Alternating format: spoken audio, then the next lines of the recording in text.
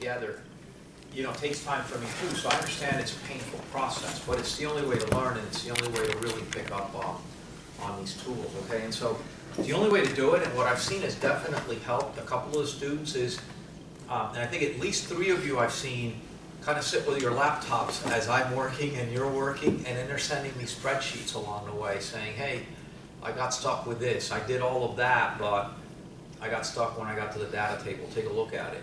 And I, I'm happy to do that, you know, sometimes it's, Excel's really quirky, it's really small little things sometimes, trip you up.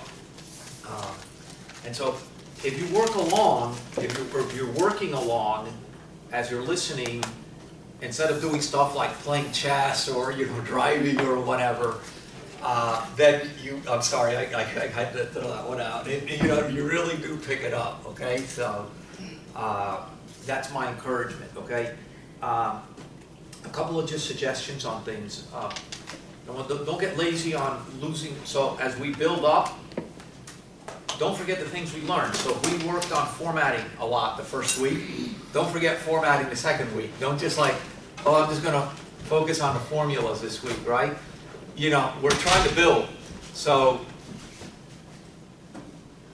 incorporate the formatting, incorporate the, the, the, the, the, the tools, incorporate the time value of money concepts, right? You know, we're gonna over- overlay leverage next, right? So, so keep building and don't forget, don't get lazy and go back to your old ways. You guys see me work, I, it's like kind of like an obsessive compulsive thing. You see me stop, I see something and I go back and fix it. It's the only way to get a spreadsheet to look, hello? Uh, it's the only way to get things to work. So, um, the other thing that's really important is to think through what you want to accomplish. Because when you start doing things like working with data tables, goal seek, solver, if the plumbing doesn't work, right, if the flow's not there, it's not gonna work. So if, if this formula doesn't rely on this variable multiplied by that variable multiplied by that variable, you can't do a data table pointing to a variable and hoping that this changes, right? So it's kind of like, you know, the, the hip bone's connected to the knee bone or whatever. Excel's the same way. The plumbing's got to work if you want the tools to work. If you hard code numbers, if you code numbers into cells, then it doesn't work, right? So you can't take the shortcut, right? So if, if you're going to grow something by a percentage, set an assumption of percentages and then point to it. And in that way, now that becomes a variable that you can play with, okay? So don't forget the flow. The flow is very important, okay? So, um, I just wanted to mention that. Now, um, ten-year treasuries, ten-year treasuries, I, I ask all the time, the, more precise? One point seven one six, maybe? Could it be the one seven one six? Okay, we should all know that, we should all be looking at that. Okay, is it up or down from last week? Down Down by how much? Nine basis points. Were there any other changes in interest rates this week? Did the term structure change? The Fed rate, The- What did the Fed, who- who's the Fed? the Federal Reserve What is the Federal Reserve? fund rate, It's a what? the Federal Reserve fund rate was, The uh, Okay, but people what is that the control the Federal money Reserve? supply, yeah, the centralized money supply. The centralized money, I mean. Like the Kelly, overseers of, of the U.S.'s money is the The treasury, overseer of the U.S.'s money, let's be, what is, right? there's Like, a is that not term. true? there's a specific term. It's a central bank Gotcha. of the United States. Who owns the Federal Reserve? the Federal Reserve. It's a separate entity. The U.S. government. Unknown bankers. The Federal Reserve, so the Federal Reserve comes into existence when? Anybody know? 19, 17, 14, 1913, and why does it come into effect in 1913? Because we go off the guys went to centralized. No, that's No, I that's next A week. bunch of, He's a right. bunch of guys are centralized, you know, that. Federal Reserve? To rebuild the economy outside of, uh, Weird obsession. Georgia. And what did they do? Jekyll Island? What did they do there? You mean they got together there? Okay, I, Came up with this whole, um, but why did they do that? because there was too many, uh, counterfeit currencies going around. No, no, try to, come on, you're just guessing. Talking about like depression, first world. Don't speak, No, don't speak unless you know the depression is nineteen twenty-nine, so you're off sixteen years. They instituted an income tax that year. That's very good, actually, the sixteenth amendment to the US Constitution. How the hell do you know that? I'm just. So, so the in nineteen thirteen, a lot of stuff happens. Who was president in nineteen thirteen? Roosevelt. Woodrow Wilson was the president. And what was happening in the world in nineteen thirteen? Well, that is precursor to that. There's civil war. Isn't that the Spanish American War? The industrial. Where are you from, Brazil? Oh my God. Holy moly, maybe there was a civil war in Brazil then, I don't know. I don't even think there's ever been a civil war in Brazil, has there been? Okay, so, look, it's a precursor, nineteen thirteen, there's a lot of funky stuff going on in the world, there's a lot of stuff going on in the world. Um, you've got, you've got the whole industrialization happening, Isabel, the whole in- industrialization is happening, okay? Yes. And with all that, the economies are changing. So we're going from agrarian economies to industrialized economies, people leaving the, the, the, the country, coming to cities. Uh, uh, people are concentrating tremendous amounts of wealth, right? Um, there are people that are struggling. Unions start popping up. What starts happening in, in, in, in, in, in, in, um, in Europe that leads up to the war? There's all kinds of like weird movements coming out of like the UK, right, the Leon, I mean, the, the, the USSR, Russia, the Leon Trotskys of the world, right, you got, you got, you know, the whole Friedrich Engels, the whole theory of communism and socialism and the proletariat, and in this country, you start getting a, a big rise in labor unions, all kinds of stuff going on, and, and part of what leads to the problem of the creation of the central bank in nineteen thirteen, and, and there's a big run on banks at some point, around nineteen ten. And it got, there's no central bank, there is no bank for the banks, every bank is its own institution, right? And so, um, there was a guy named John Pierpont, uh, Morgan, J, J.P. Morgan, who was the biggest of the bankers, and he kind of backstopped all these banks. And as a result of that, a bunch of bankers got together and said, hey, something needs to be done here. And so there was legislation enacted and the US created its central bank, right? It's called the Federal Reserve Bank. And who owns that bank? The, the, the member banks. It's owned by the banks. So what does a central bank do in this country? So, so it is the bank for all the banks. That is one thing that it is. It is the bank for all the banks. Cole, you had a thought? Fights, fights inflation. Okay, so let's leave this other mandate out here. Let's sort of talk about what they do. There's two basic functions that, that the, uh, that the Fed does is, it, it, uh, it is the bank for all the banks. And as a result of that, what it does is it facilitates the payment system in this country, right? So how do you pay without having a clearinghouse, right? If I have a check drawn on your bank, how do, how do I deposit it in yours or whatever? What's How a do we get clearinghouse? back? And so What's a clearinghouse? a clearinghouse is like what it sounds like. You send something here to clear. So I'm in bank A, right? And let's say that there are three banks, right? Okay? I want to pick up my boat on Wednesday. I wrote them a check drawn on the credit union, right? Mm-hmm. Well, They went to their bank and they sent it up to the Federal Reserve branch here in Miami. And that branch went and took it out of my account and credited it to them. Gotcha. Okay, so that's what a clearinghouse is, and now you've got clearinghouse airline tickets, you know, some of it's a little bit different now, because that's all sort of electronic, but it used to be the tickets were physical tickets, and so, you you know, you could have a ticket on American and fly on United, yes, Sam? So just to understand clearly, the Federal Reserve was a detergent for spread of communism in the No, no, no, no, I said there's a lot of stuff going Yeah, on in nineteen thirteen, Okay. okay, and it's impacting economies, it's impacting workforces. One of the options that we get in this country, right, is there's a big run on banks and, and, you know, precursor to this time frame. But And that's there- when people, and it wasn't the first time there'd been a run on banks, okay? And so, that's when they said, look, we need to have something that kind of regulates, right? So it does provide regulation, uh, yes, sir? Wasn't there other central banks? Isn't this the fourth one that was, that finally, like, there was three other ones that failed, I- so. um, you, you may know more than I know, okay? And I don't know that there were any specific true, It wasn't the first time it was trying to be implemented, it was like, it took Okay. finance. you know what, why don't you do some research on that and bring it to us next time? I was just curious on your opinion, like, because. I, I don't, I don't know. I mean, I know that the, the current bank that we have comes from nineteen thirteen, and I know that we did not have a formal bank before. There were banks that attempted to, people like JP Morgan functioned as, as central banks, but they weren't the central bank. Do you feel it's necessary, one hundred percent? Do I think it's necessary to have a central bank today? Um, probably. And, and even if you look on a worldwide level, there's something called the BIS. What is that? The Bank of International Settlements, because just like if you write a check to, or if you wanna send a wire, you've heard of SWIFT, like if you wanna send a wire, or IBAN, if you wanna send a wire to a bank in Europe, or somebody wants to send you money from Europe, you need a clearinghouse.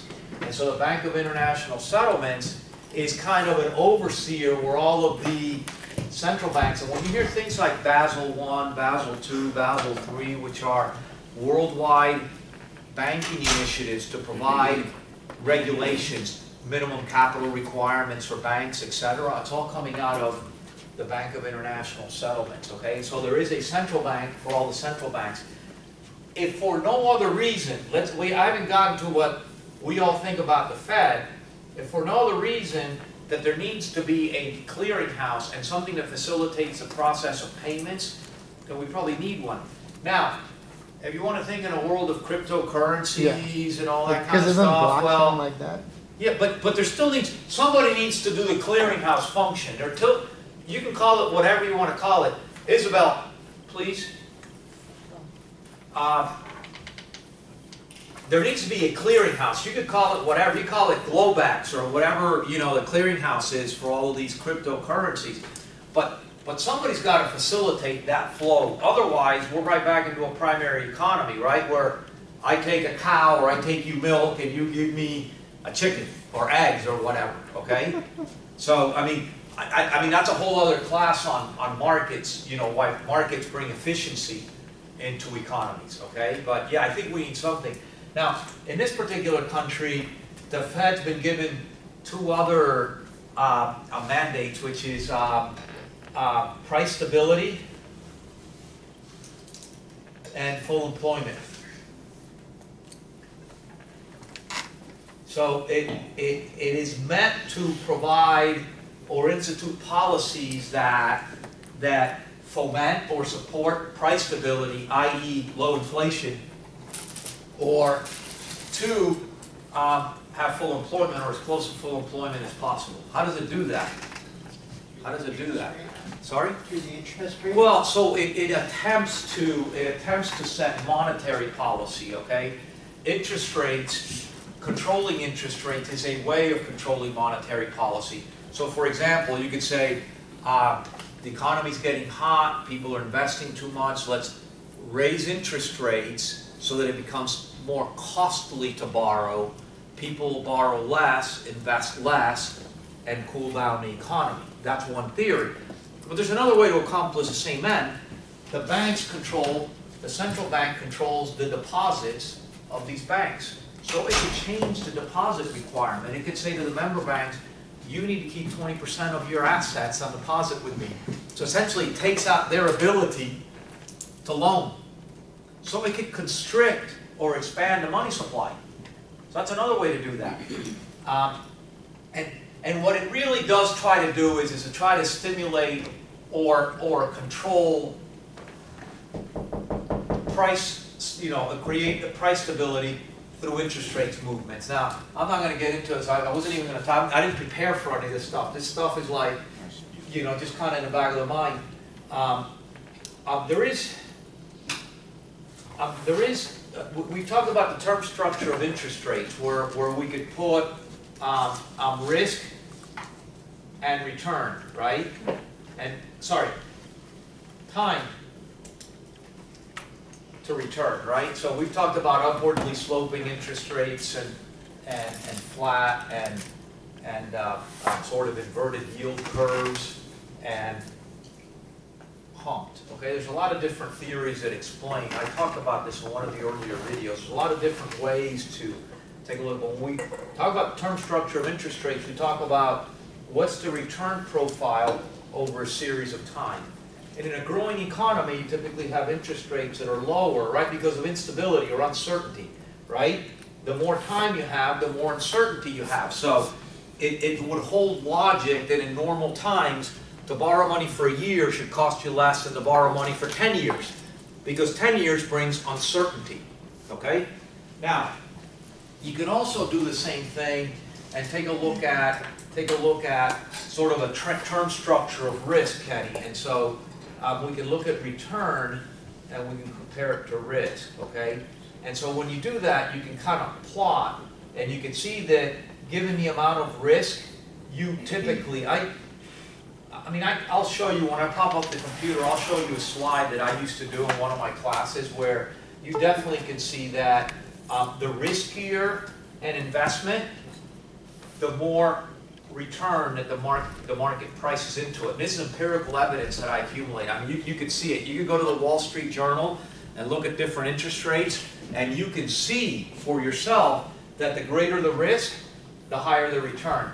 Um, the argument here, going back to why I brought all this up, is, is, is the argument theory, in theory is, is that the Fed funds rate is really the baseline interest rate in this country that sets all of the other rates.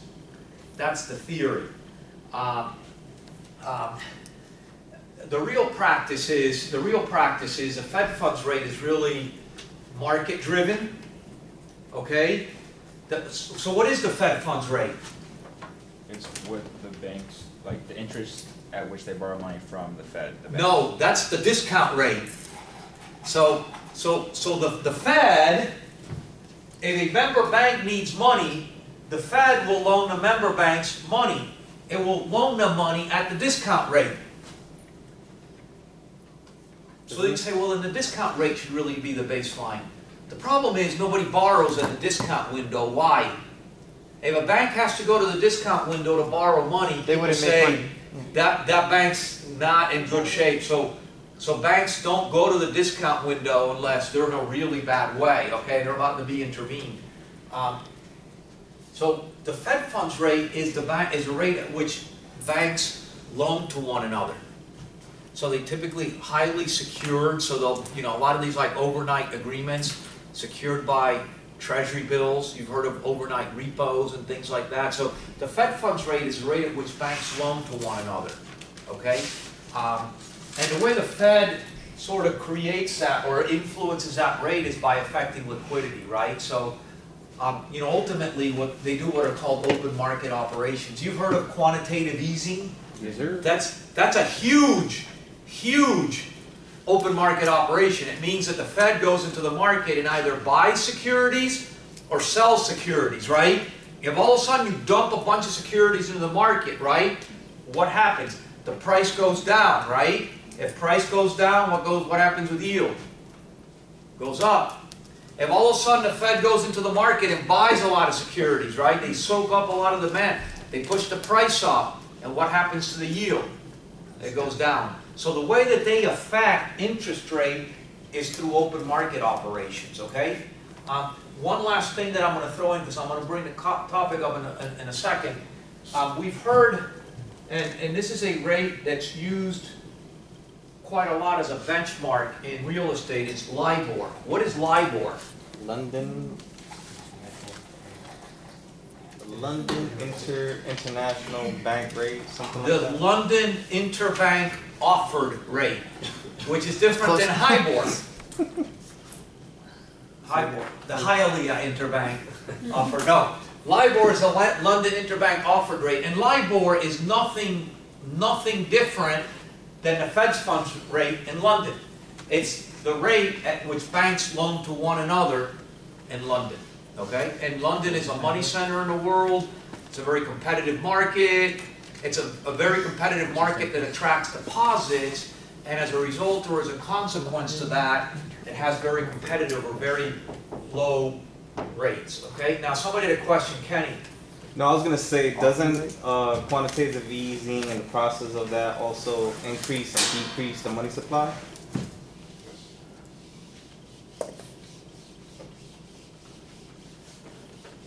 Um, it definitely creates liquidity in member banks, right? Because at the end of the day, who buys securities?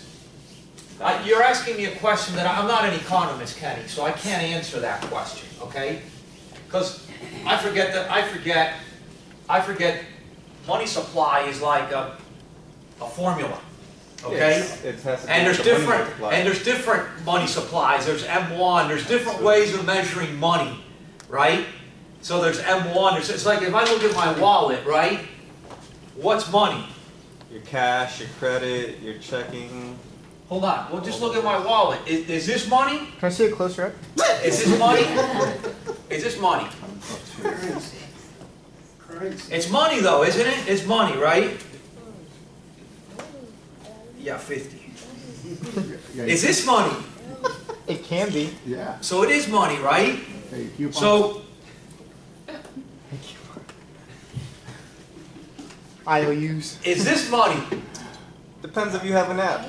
I don't, I don't, I, it's not money, it's not money for me, but for some people it is money, you got Apple right? Pay. it can be money. And so, and so, so the definitions of money are varied and they're changing. And so, I don't, I don't know, you know, your specific answer, but what I can tell you, what I do know that is what impacts is, is treasury, treasury notes, so banks, banks are very limited in what they can do because of the depression. In this country, banks can only, what do commercial banks do in this country?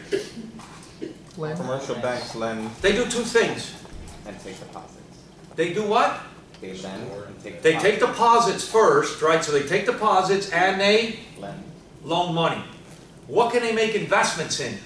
low risk, low risk, uh. High security. They can only make investments in loans, so they can make loans, and they can buy treasuries.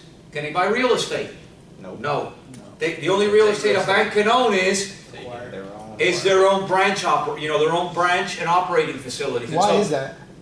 Is that Because, because it, there was a big depression in this country and like everybody lost all their money and so as a result there's something called the FDIC which, which backstops deposits and what it does is it create, there's a lot of regulation that prohibits banks from assuming, I mean, you're getting into like the Glass-Steagall Act well, and it's, it's stuff. just to understand, like they don't let them invest in real estate because if something happens, real estate's too risky, and the idea is that these people come to cash in on their deposits and they don't have the money available because the real estate investment took a turn. That's a problem. And, and leverage factor. Well, it's not even leverage and all, it's, it's, it's, it's a concept of speculation and it's the concept, there's also an issue of, I mean, I'm not a banker, right? But you've got maturity risk in a bank, right? And so if you're making investments in non-liquid assets, you mm-hmm. may have issues vis-à-vis your liabilities. And understand that a bank, deposits are their liabilities, not their assets, right? So, so they want to make sure that there's moneyness, there's liquidity in the investment that they make. There's something which is now defunct, which is, there's a whole other sort of push in 1933 and 34. There's a series of, of legislation that reacts to the depression that, that Sam was talking about. So, you know, we've talked about the Securities and Exchange Acts of 33 and 34. There was something called the Glass-Steagall Act, which was, there's something called the Financial Services Modernization Act of 1999, which pretty much killed this. But The Glass-Steagall Act essentially took banking or financial services, financial intermediary operations and broke them into three different things. And so it said, insurance companies can only function as insurance companies. Commercial banks can only function as commercial banks. And investment banks, right, can only function as investment banks. And you can't do one or another because of the risk associated with each one of the activities, right? And ultimately, this one, which is what safeguarded the deposits of all of the citizens, was backstopped by the FDIC, right? So the FDIC is insurance that's paid for by the member banks, but it's backstopped by the US government. So, you know, you get all the banking regulation that says, hey, if we're gonna backstop the insurance fund for the commercial banks, then we need to make sure that what you're doing is safe and sound. And that's why bank regulators go, you know, to banks on a recurring basis, okay? Now, then they created something called bank holding companies, and then, you know, the lines started getting blurred here. You could actually do this as long as it was a holding company and there were firewalls between these operations. But this was when Citibank and Travelers merged, and it basically just kind of did. So most companies have a bank holding company, um, but, you know, a lot of these financial services firms are fully integrated, right? So Bank of America owns Merrill Lynch, right?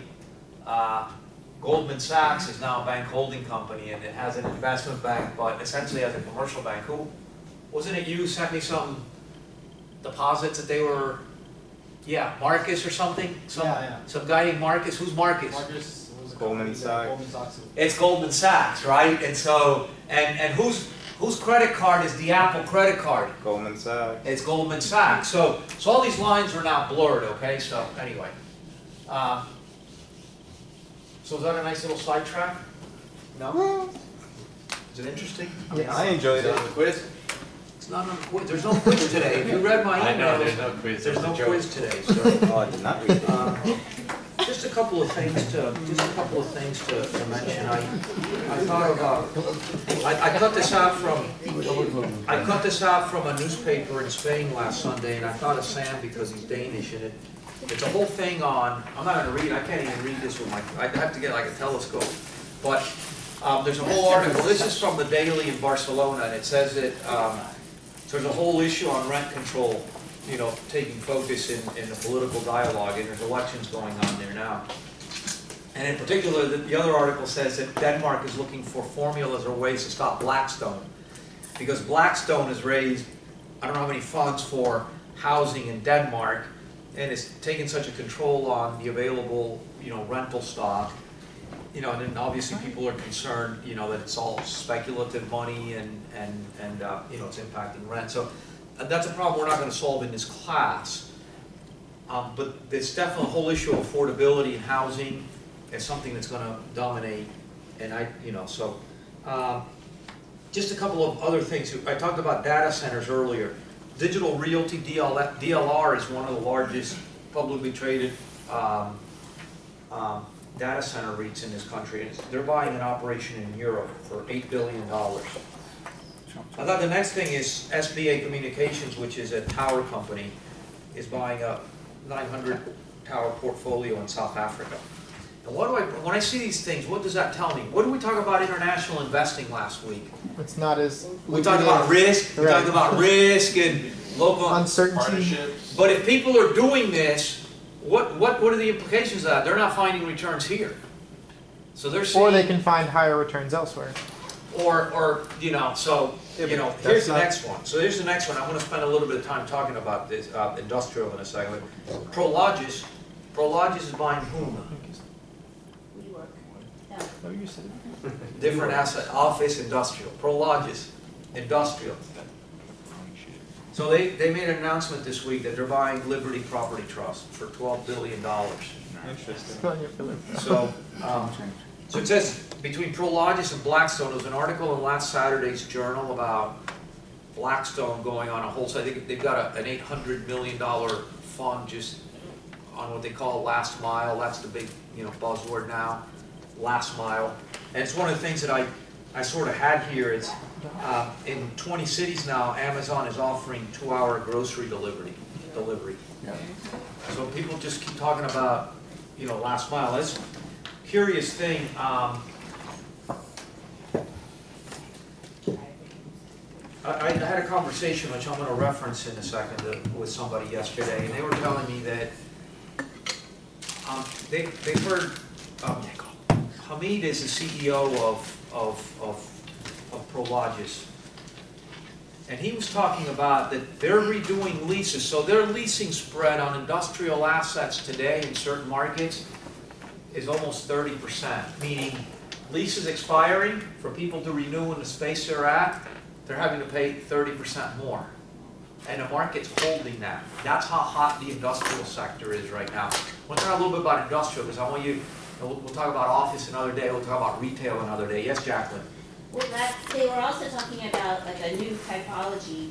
Last week, we were talking about the footprint of a warehouse. Now they're going vertically with warehouses because they can, they need to be, because of the one day or one hour or whatever delivery, they need to be closer to the urban centers instead of sprawling out in Yeah, and, and in particular, um, it's kind of interesting, in the spring, there was an article, Prologis is now building um, three-level warehouses in certain key markets. And, and the, the only thing I could think about when I saw that was, it was kind of like Back to the Future, how, how was, how were warehouses at the beginning of the Industrial Revolution, right? If you go to New York and Boston, weren't they all sort of like in the middle of the cities, fully, you know, vertically, you know, vertically?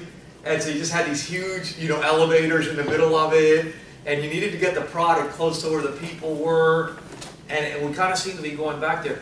There's a trade-off there, Jack, and I, I've, I've run a, I've, I've run several warehouse operations in my life, not as a, like a real estate guy, but like as an operator. Um, there's a trade-off between efficiency and volume, right? So, um, um, what's not common in South Florida, we're building industrial boxes up to about 32 feet, something like that. Uh, and maybe, may, maybe an easier way to give you this example is, if you guys ever been to like these boat yards where the boats are vertically stacked, Yeah. have you seen how slow those guys move? They've got very precious cargo, right? And they're moving these very expensive boats very high up, and in their very tight quarters, they move very, very slow, right? Well, I can tell you when you're like in a stand-up forklift, and you got a 2,500 pound pallet, and you're taking it up three feet, four feet to second level, that's pretty easy. When you take that tower up three levels, and that thing's 24 feet above you, and you're sort of leaning Yeah. forward, and there's very precious cargo in there, uh, Terrifying. you don't move that fast. And so the whole picking and packing becomes a little bit more complicated too. So yes, it's kind of strange that in real estate we, we rent space on a two-dimensional level, square footage, but especially in industrial space, we really take advantage of the volume. And we've never charged for volume. So yeah, the higher the better in a certain way, but in another way, it does create certain inefficiencies, and, and the cost of the equipment is that much more complicated. Yes, Kenny? Yeah, I've read that article, but that was like about like six months ago where they're changing even the design of warehouses, where they're adding in uh, parking lots where they, they can have trucks drive on Well- and back up and actually load through the parking lot. Right. So there's a separation between So- warehouse and trucking area. Well, I, I- I really, um, Ken, I, we've got architects in this class that can draw this a lot better than I can, okay? But You and me both. I can tell you, I can tell you that, let, let's see if, if I can make this work, right? If, if you look at a nineteen seventies vintage industrial product in South Florida, for example, uh, and South Florida's historically been a small business community, okay? They were all, you know, sort of very traditional, um, front-loaded, you know, small bay type products. So these things were, if we looked at, at a cross-section, right? These things were probably twelve to no more than, um, sixteen feet high, okay? They were typically at grade, okay? They were typically at grade, at street level. Okay. foundation? No foundation thickness or anything to add? Well, the- I mean, there is a foundation, but, but the, the, the truck court pulled right in, okay? Okay. And that's, you, you ever seen trucks with lift gates? Mhm. Yeah. Why do you think you have lift gates? Because people have to put pallets on them, right? You get the pallet jack, and put the stuff to the end. I mean, that's how I grew up driving a delivery truck, you know? And then you gotta bring the stuff down, right? And then, then you gotta get the pallet jack, and you pull it in, and you figure out what you do with it inside.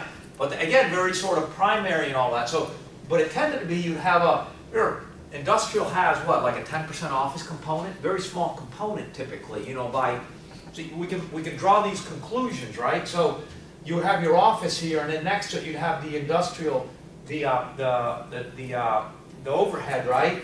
And then the truck would, would, would pull in. Uh, uh, go to Miami International Airport, on the other side of eight twenty-six, you've got a PS park that's, I forget what it's called now, the Tisch family started building that. They got two hundred acres of this kind of product there, okay? Now, in the nineteen eighties in South Florida, so what happened is the Tisches owned this, so MIA is here, this is north, this is eight twenty-six, right?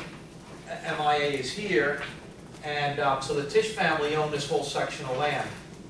So they developed what Post owns this now, um, or PS Industrial Parks, okay? And, um, they did a joint venture with my old boss on this part, and that's what is now called Beacon Center. which is owned by Prologis now. And that was the first attempt here now to change the way that you see industrial is all over the country here in South Florida.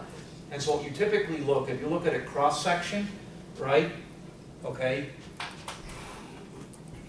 you've got, you've got a recessed truck court in the back. So a truck now can pull in, right?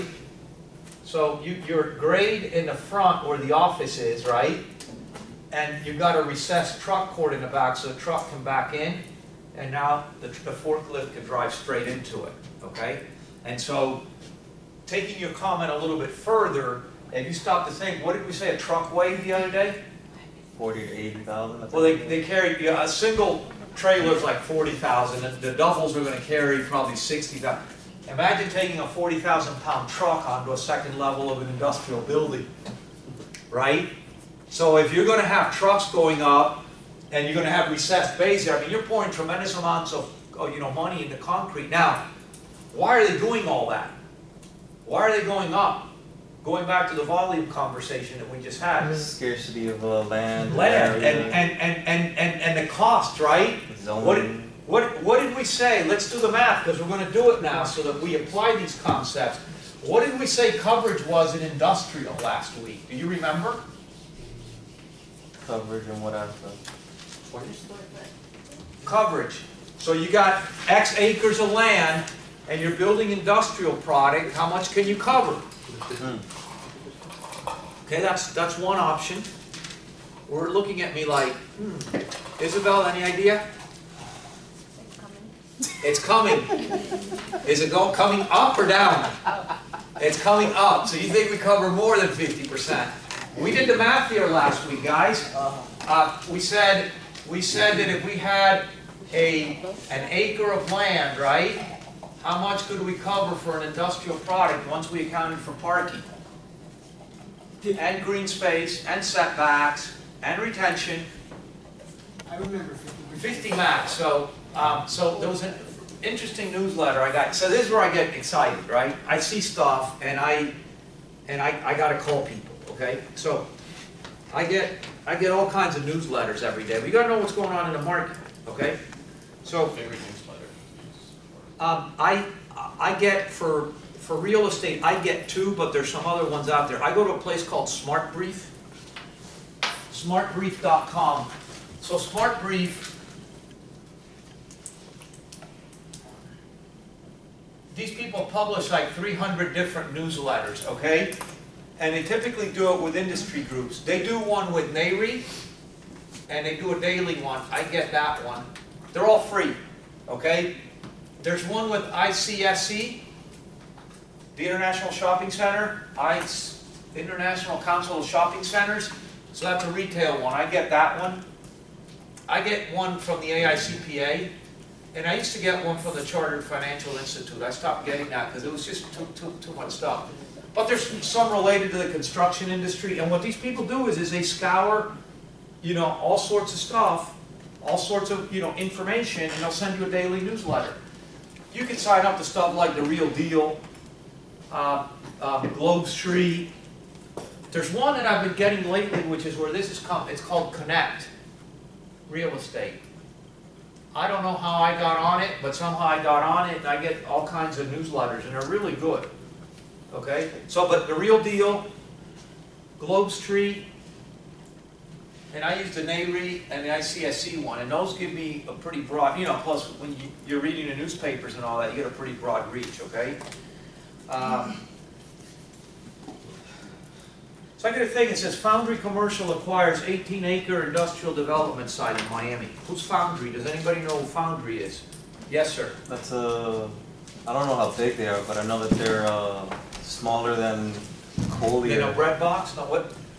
They're, Sorry? they're smaller than what? They're smaller than Collier, um, but they're a brokerage house, development, construction. They're all of that. Okay, so Foundry's a firm that, I don't know a lot about them. Foundry comes out of the old,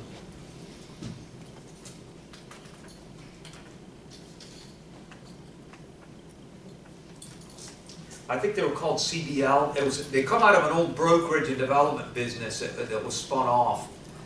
Um, they are primarily developers, okay, and they've got multiple offices, and they're actually not that small.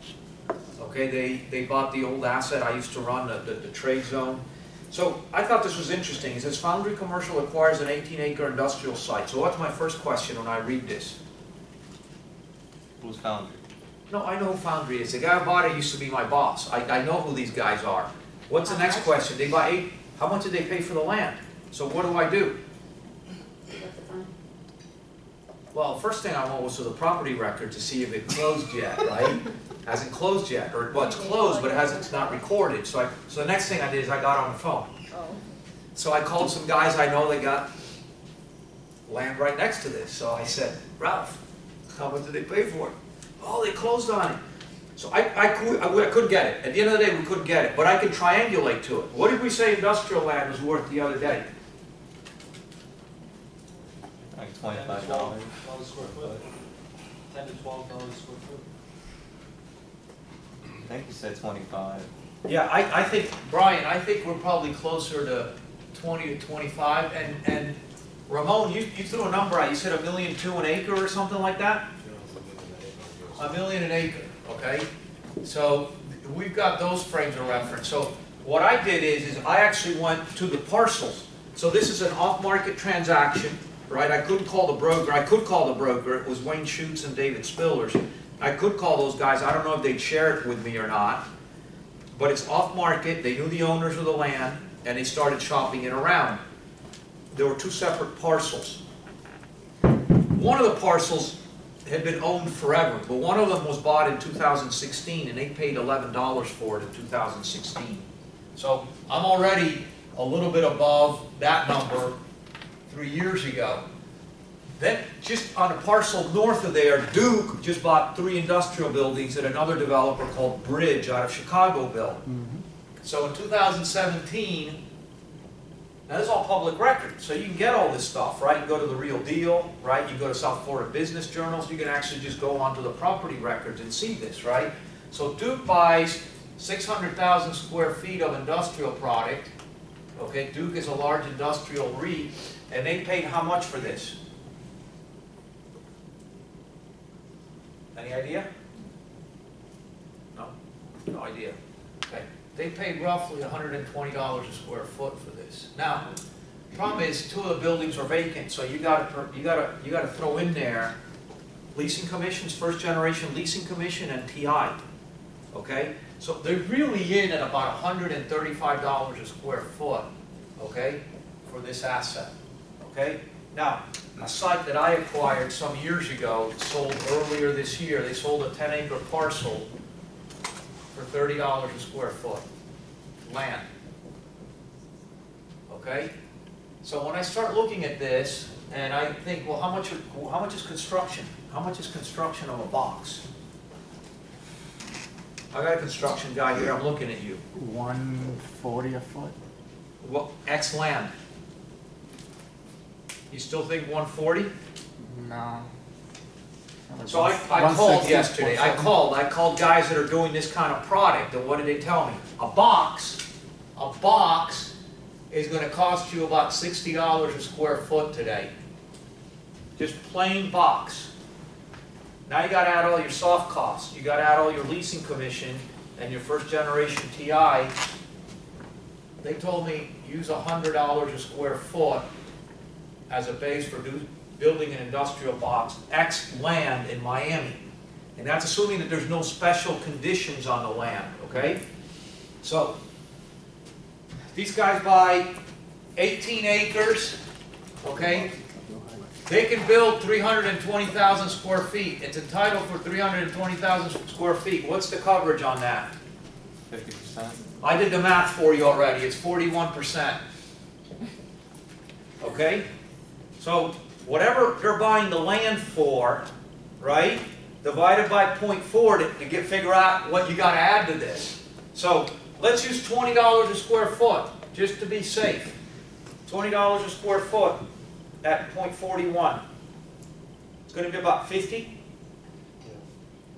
So how do I convert land feet to building feet? I gotta buy 18 acres, but I only get to use eight of them. You guys have a blank look on your face. Does this make sense? You want me to repeat Uncharted that? territory for us. It's what? It's uncharted territory for us. Okay, but, but we're, we're, we're repeating it every week, so we start thinking this way. I buy eighteen acres, but it's not all usable, right? So, so if I pay for eighteen acres of land, how much can I build? Three twenty? Yes, sir. No, I'm just thinking. No, no. Just, don't think anymore. Twenty divided by point forty-one. It, it, there's no, Forty-eight point seven. so fifty dollars a square foot. Okay, so it looks like they've probably paid, knowing, knowing the guys at Foundry, knowing my old boss, he probably paid more than that for this, because there's never, there's no deal that, there's no deal that he would ever give up. It doesn't matter what the price is. He'll figure, he's great, he loves pushing Excel sheets and, and making deals look good on paper, okay? So, let's say that from eleven, we got to twenty. Even though a mile away, land just sold for thirty. Okay, let's just be conservative. And I got a guy that's building across the street from these guys that's telling me it's costing hundred dollars a square foot. So it looks like these guys just bought eighteen acres, eighteen acres, okay? And I'm build hundred and twenty thousand square feet, and it's gonna cost them about hundred and fifty dollars, right? Now, three hundred and twenty thousand square feet at hundred dollars a square foot is how much? Six million, six million, six point four million. Do you have a calculator? Yeah. Thirty-two. Okay, thirty-two million. How much do you think that they paid for the land? That's twenty bucks.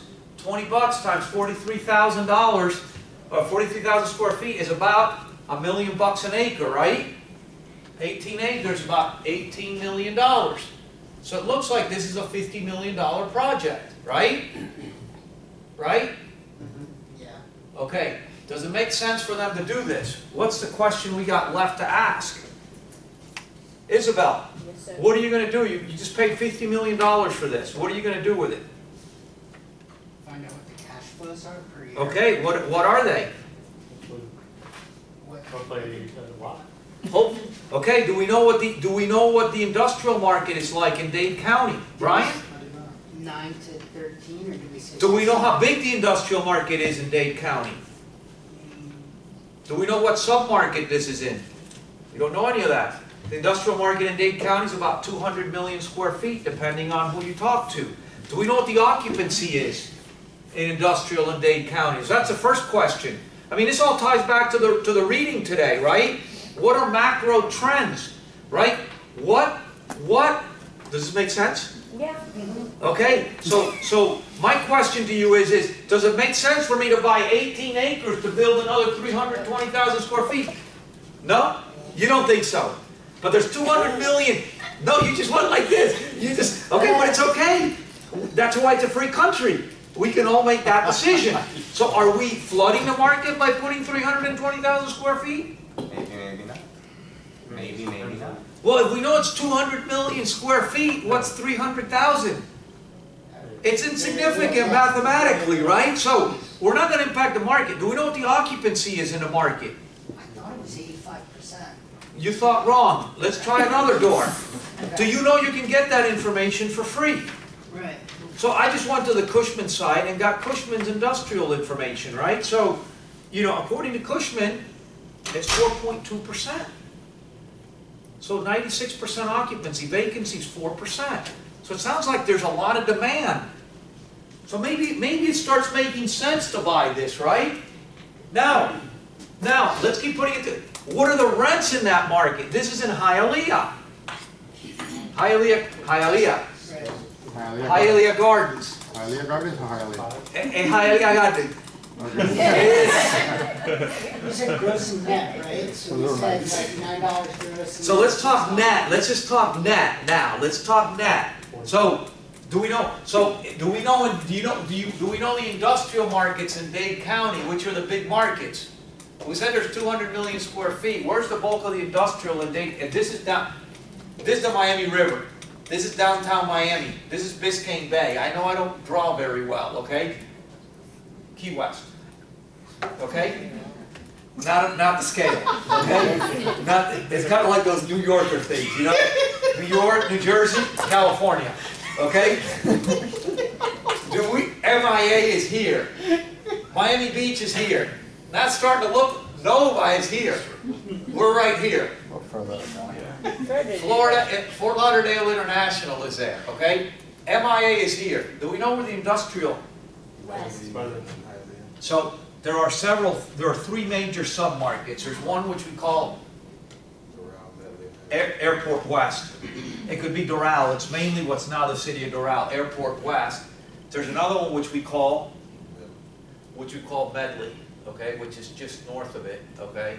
And then we've got, yeah, so we've got, there's two Hialeahs, okay? There's a so- sort of Hialeah Gardens, and then there's, there's the old Hialeah, and that's totally, that's product like first generation type stuff, but this is where you've got the, and then up here, right on the county line, there's a little bit of product here in, um, the Sunshine Industrial Parks, like twenty million square feet. You've got some in Miami Lakes, but, but basically it's these markets, okay? Do we know what the rents are here? So we're, this, this parcel is somewhere like here, okay? Uh, do we know what, where, what rents are there roughly? Cole, no idea? If you're paying hundred fifty bucks a square foot, you're gonna have to figure that out, right? Because ultimately, we gotta figure out what our return is, right, or what our yield is, right? So, what if I told you that rents there were, so this guy told me yesterday, rents are, they're building right across the street from him. Ralph, what are rents? He said, you're gonna get seven to eight bucks net a square foot. It's like, what is, what is, uh, Cushman tells us for warehouse product, Airport North, what they call Airport North slash Medley, Airport West, and Hialeah, it's anywhere from seven to eight thirty. So the guy's right on it, okay? He's on it. So, let's do the math. What kind of development yield am I building to if I can get eight bucks a square foot? And it cost me hundred and fifty dollars a square foot all in. Sam, come on, figure it out. You don't have a calculator? I do. You came to class without a calculator? I love your assumptions.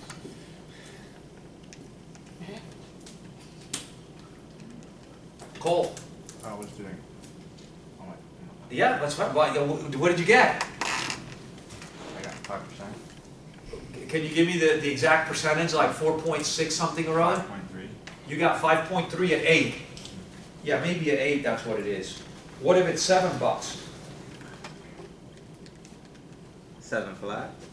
Yeah, what if it's seven bucks? I mean, if we, we could do a data table, Four point six. Four point six? four point six. So, we're building anywhere from four point six to a five percent, five point three percent in-place yield. Now, Isabel, is it worth it?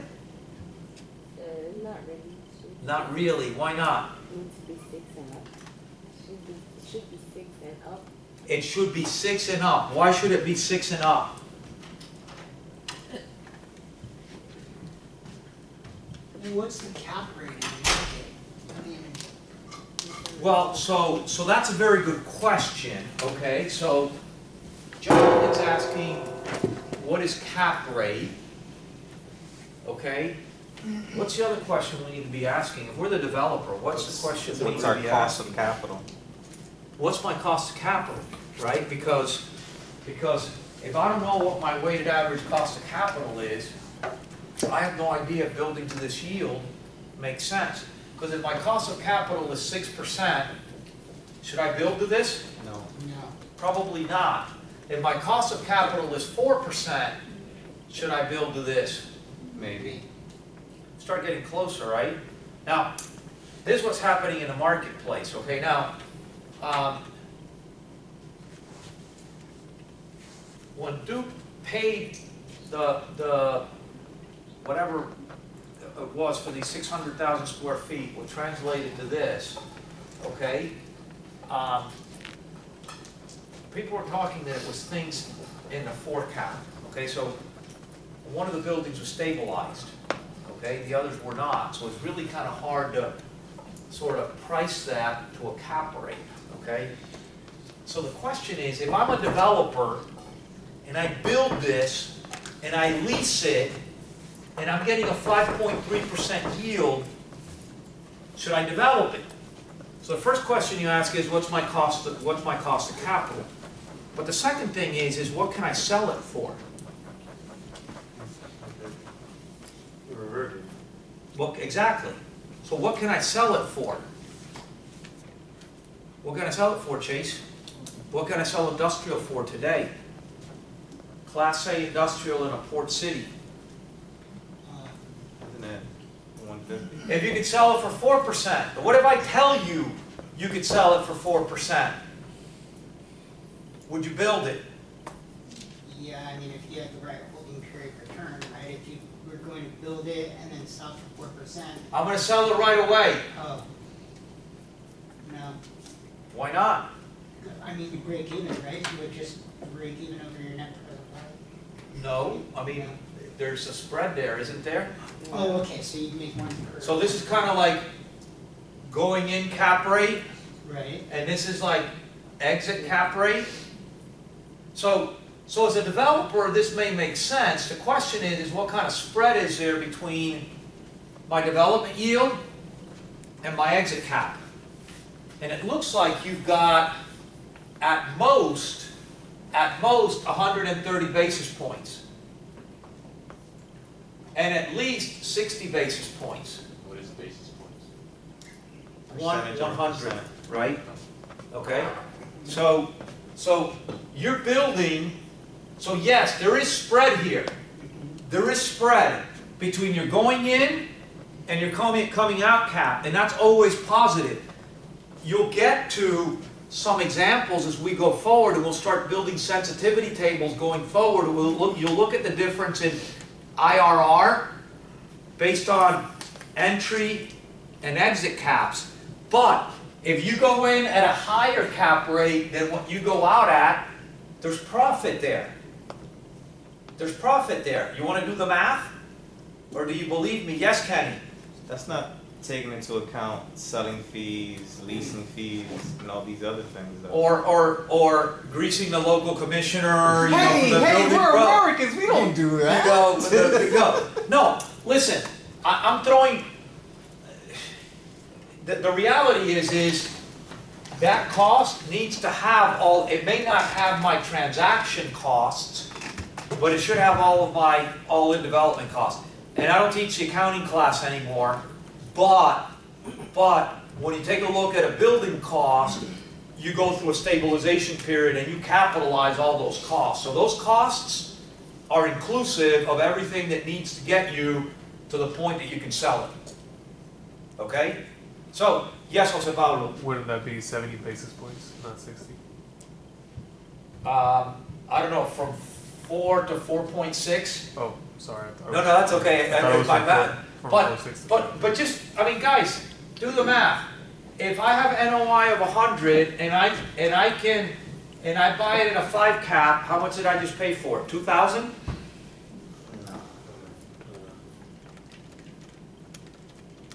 Yeah, you, have it, yeah. Two thousand.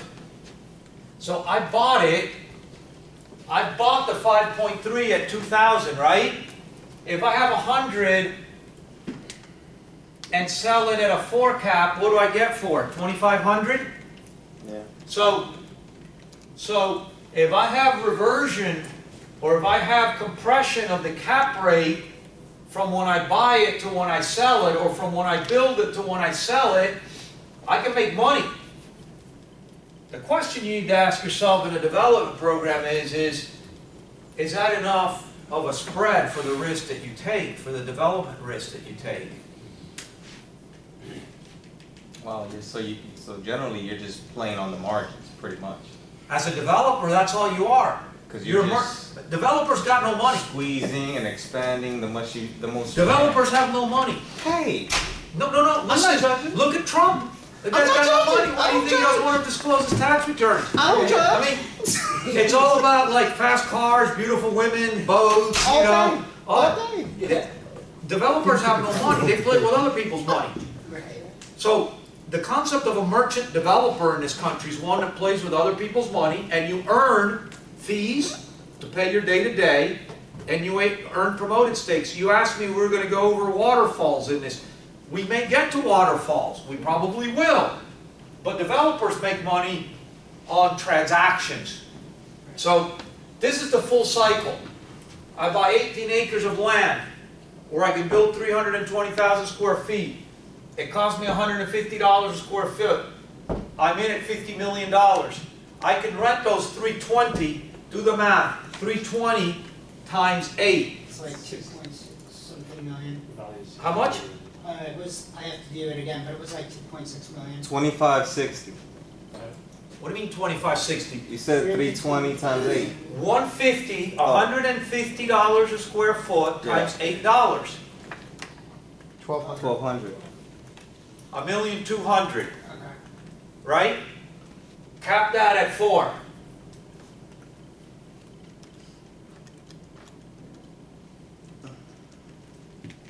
Thirty mil. Thirty thousand, yeah, thirty million. You said a million two hundred. So the, three Million hundred twenty thousand square feet, Divided by point oh four is thirty mil.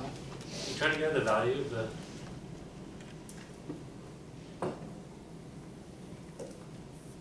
Okay, the cash flow, three hundred and twenty thousand square feet.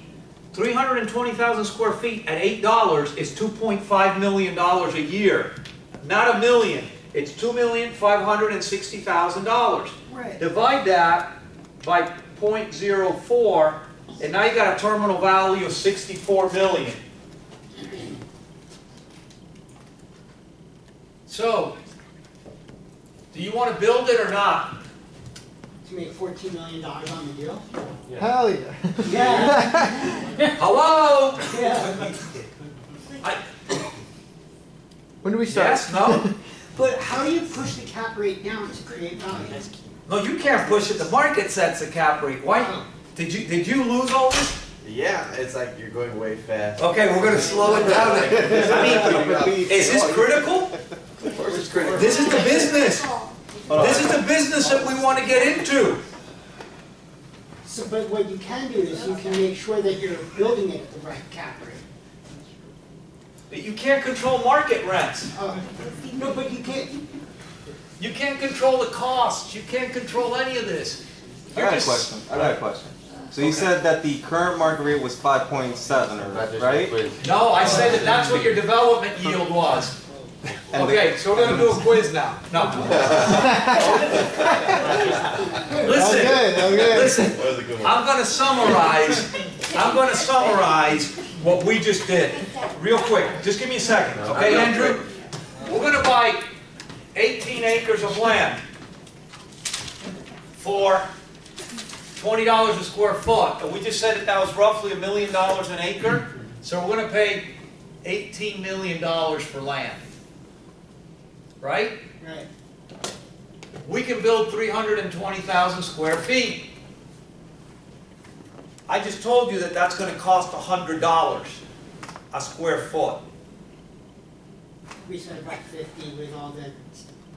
With land, oh. one fifty, X land, a hundred. Okay. So we're gonna pay thirty-two million dollars. Building, soft and hard, all in, okay? So it's gonna cost us fifty million dollars to buy this land and build twenty thousand square feet. Now, we haven't done a, hopefully we'll get a chance to build a development budget in this class. Hopefully we progress to that. So we can blow that out. I'm just giving you these numbers right now, okay? Now, so that's what we're in at. What can we rent this for? Seven eighty. Yeah, Call it eight dollars, and just be optimistic for a second. We can rent three hundred and twenty thousand square feet at eight dollars a square, square foot triple net. How much is that? Two million, five hundred and sixty thousand dollars. Okay, now, now, now, what is my development yield on this? What is this divided by that? What am I building to? What am I building to?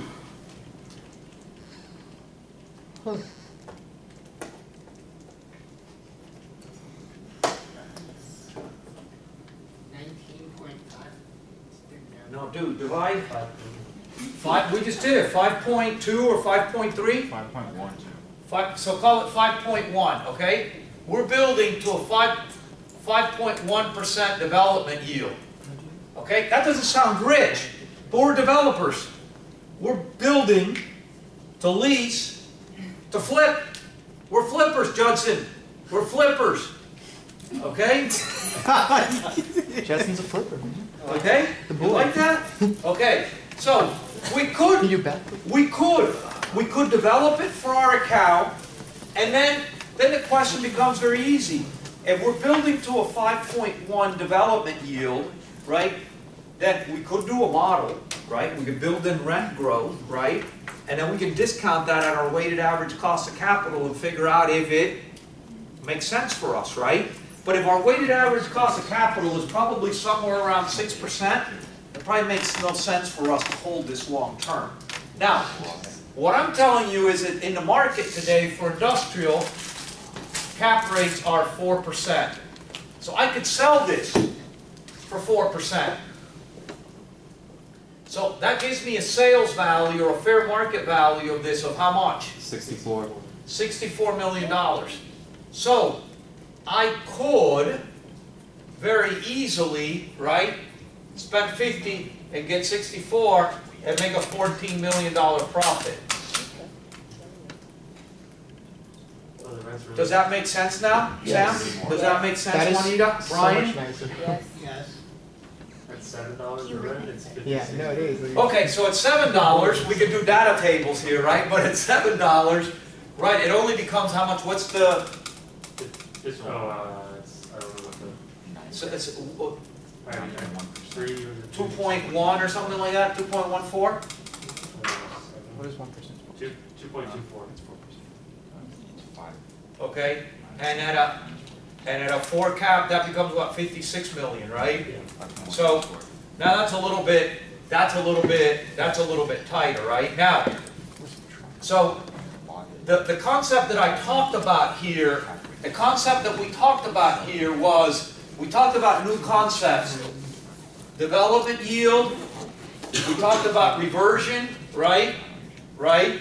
And we talked about development profit, okay? And the last one we talked about is, is spread, okay? That four percent, is that the cap rate? Yes, sir. That's what I'm telling you is the market cap rate for Class A industrial in, in port cities today in America, in Miami. So maybe it's four point two five, okay? Okay, now, spread here, five point one to four is hundred and ten basis points. But per square foot? No, that's not per square foot, that's yield, man. Okay. I'm going in at five one, I'm going out at four. I'm developing to five point one, I'm selling at four. I've got hundred and ten basis point spread. Should I take that? Yes. Why? Well, I mean, but that's, Okay, now now, yeah, Toby Wilson, who's the mayor of Medley's gonna come out, and he's gonna harass you and shake you down. Now all of a sudden, it's gonna take you three years to build it, because you don't wanna give the guy, and then, and, went- and then the economy tanked, right. and now you, you can't lease it. Oh, well, then you, then you're screwed.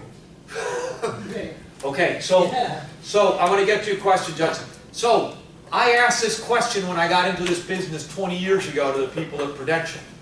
So what kind of a spread do you guys look for when you're taking development risk? The answer at the time was two and a quarter to two and a half, so two hundred twenty-five to two hundred fifty basis point spread between exit cap and development yield. I thought that was really low for the risk they were taking, but that was an institutional, an institutional answer to me, to my question at that point. Okay? So two point. Yes, two- Judson. You said two and a quarter to two point five? Two two point five. Two twenty five to two fifty. Two hundred fifty bips Okay, is, so, it, it, listen, you're assuming a lot of risk is what I, s- you know, the whole development risk is a lot, so the question is, yeah, they- look like big dollars if everything goes well. But you're assuming a tremendous amount of risk, and, and there's one thing I haven't, there's one problem here, we don't have a, a course here on debt, we'll talk a little bit about debt in the next couple of weeks, but who's gonna guarantee the construction loan? So, one other question, so you're saying that four percent is gonna be standard, so you're not gonna have any issue selling it at a four percent cap? Well, I didn't say that. That's what the market would yield. But what I'm telling you today, today, today, for Class A industrial in a major port city like Miami, it would not be unreasonable to think that four is a realistic cap rate to sell at. If you saw my video the other day, and you saw that, I, I don't think, I, I showed Simon, I, I did, I did it for Prologis, but I don't think I showed it. These big REITs are, have weighted average cost of capitals in the four and a half percent range. They can buy stuff at four caps all day, as long as there's bumps in it, they can buy stuff at four caps and not be dilutive. Plus, they bring operational efficiency to all these assets. They put insurance under a national umbrella policy, right? They do management in-house. So, you know, all of a sudden, a four cap that they bought in all of a sudden becomes a four and a half yield just from efficiencies, let's say, okay? And so, so, so, um, yeah, I mean, that's multifamily, uh, uh, Class A CBD office, industrial and major port cities, you're probably in four, four and a half cap rate. You know, Class A. Retail, uh, all over the, you know, six and a half, seven, eight caps, you know, even more. I mean, that's all dislocated now. You, hospitality, I don't know where hospitality's at right now.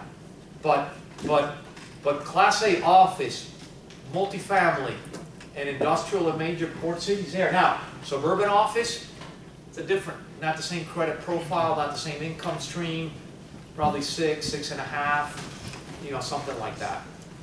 Yes, Cole? If they're all class A, then how would one choose like which niche to pursue?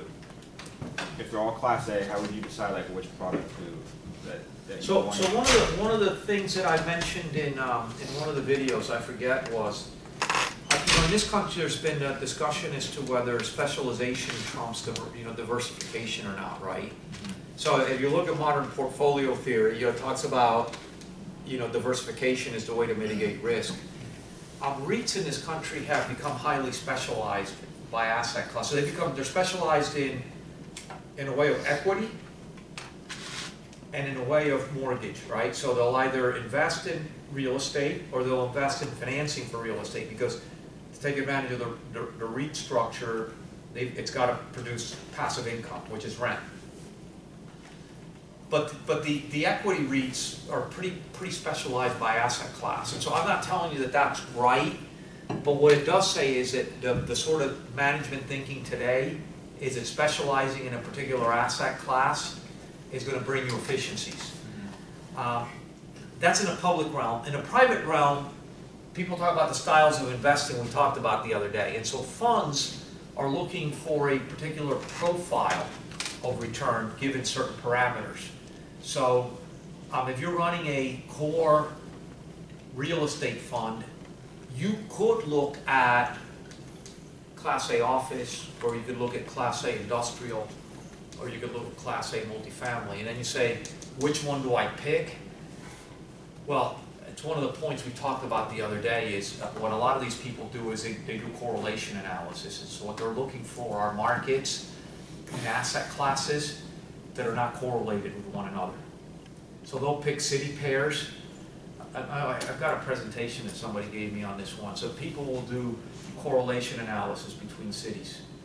And so they'll start saying, you know, we'll see that, you know, Fargo, North Dakota, to say something is highly uncorrelated to all the other major metros.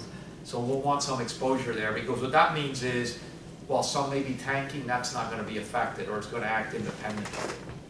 What we talked about the other day, we talked about um, inverse correlation and positive correlation, and, and for portfolio co- construction, people, people want, you know, little correlation. So, so what you look at are things you know, markets you know, and where you perceive um, to have low correlation with the balance of the portfolio.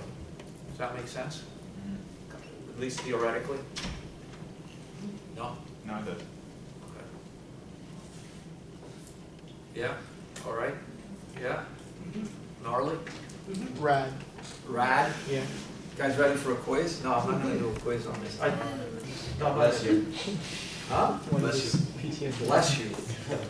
I, I I won't do this one. Um, did we have any questions on this?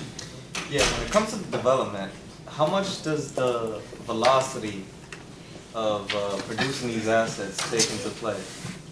So, I've got, I've got architects in here, and I've got construction people in here. I'm gonna give you a, a rule of thumb for office and industrial.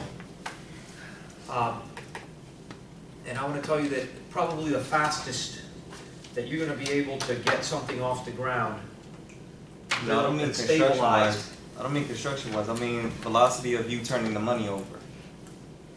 Well, how, how do you turn money over if you don't build it first? Well, that's true. So you gotta start by building something, then you gotta lease it, then you can sell it. So you gotta look at that period first, right? What's the path? Um, um, you could build a box, you can build a suburban office building probably nine to twelve months. By the time you, you permit, or getting all the permits in place, getting everybody mobilized, building, you're probably looking at a year and a half to two years and getting stuff stabilized, there's a sort of rule of thumb that people talk about. So you could build, you can build to suit, or you can build on a speculative basis. So as developers, we do one of two things. We build to suit, we have a tenant, and we build to their specifications. Or to our specifications, but we've already got the tenant that's gonna pay for our specifications. Or you can build on a speculative basis, which means you have no tenants, and you're speculating. You're building, hoping that if you build it, they will come. You probably, so you always want to have a tenant, but that's not realistic. And you don't totally want to speculate. Because what happens when you speculate?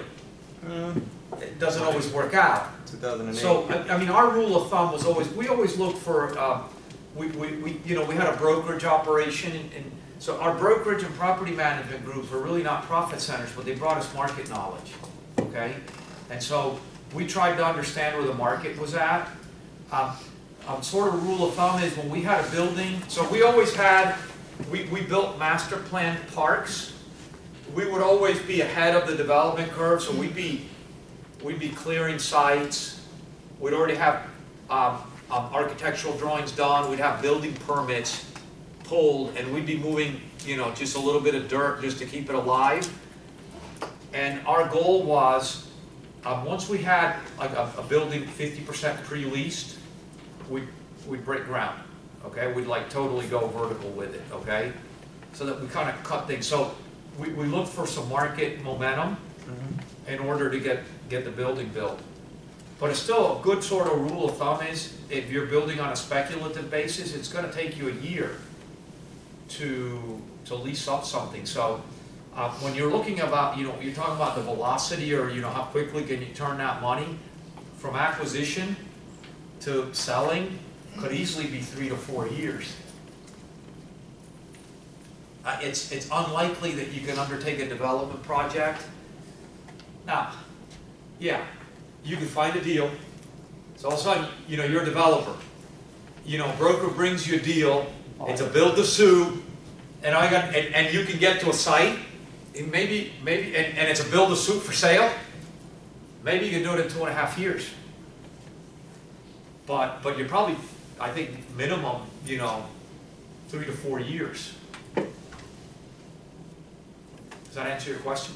Somewhat. It just, I mean, at the end of the day, what you just said just tells me that you need to have operational efficiencies and manufacturing efficiencies in order to, to, to produce those results. Yeah, you but I can't mean, just- yeah. You can't just build. No, you're hope. right, no, you're right, I mean, I I mean, and hopefully, you know, part of what, you know, the construction management class here, you know, teaches you, and hopefully what, you know, working in an organization that has a good development team, hopefully a good development team has good architects, good engineers, good GCs, right? Cost controls. uh, uh, good brokers. Uh, A lot of developers will do estimating in-house.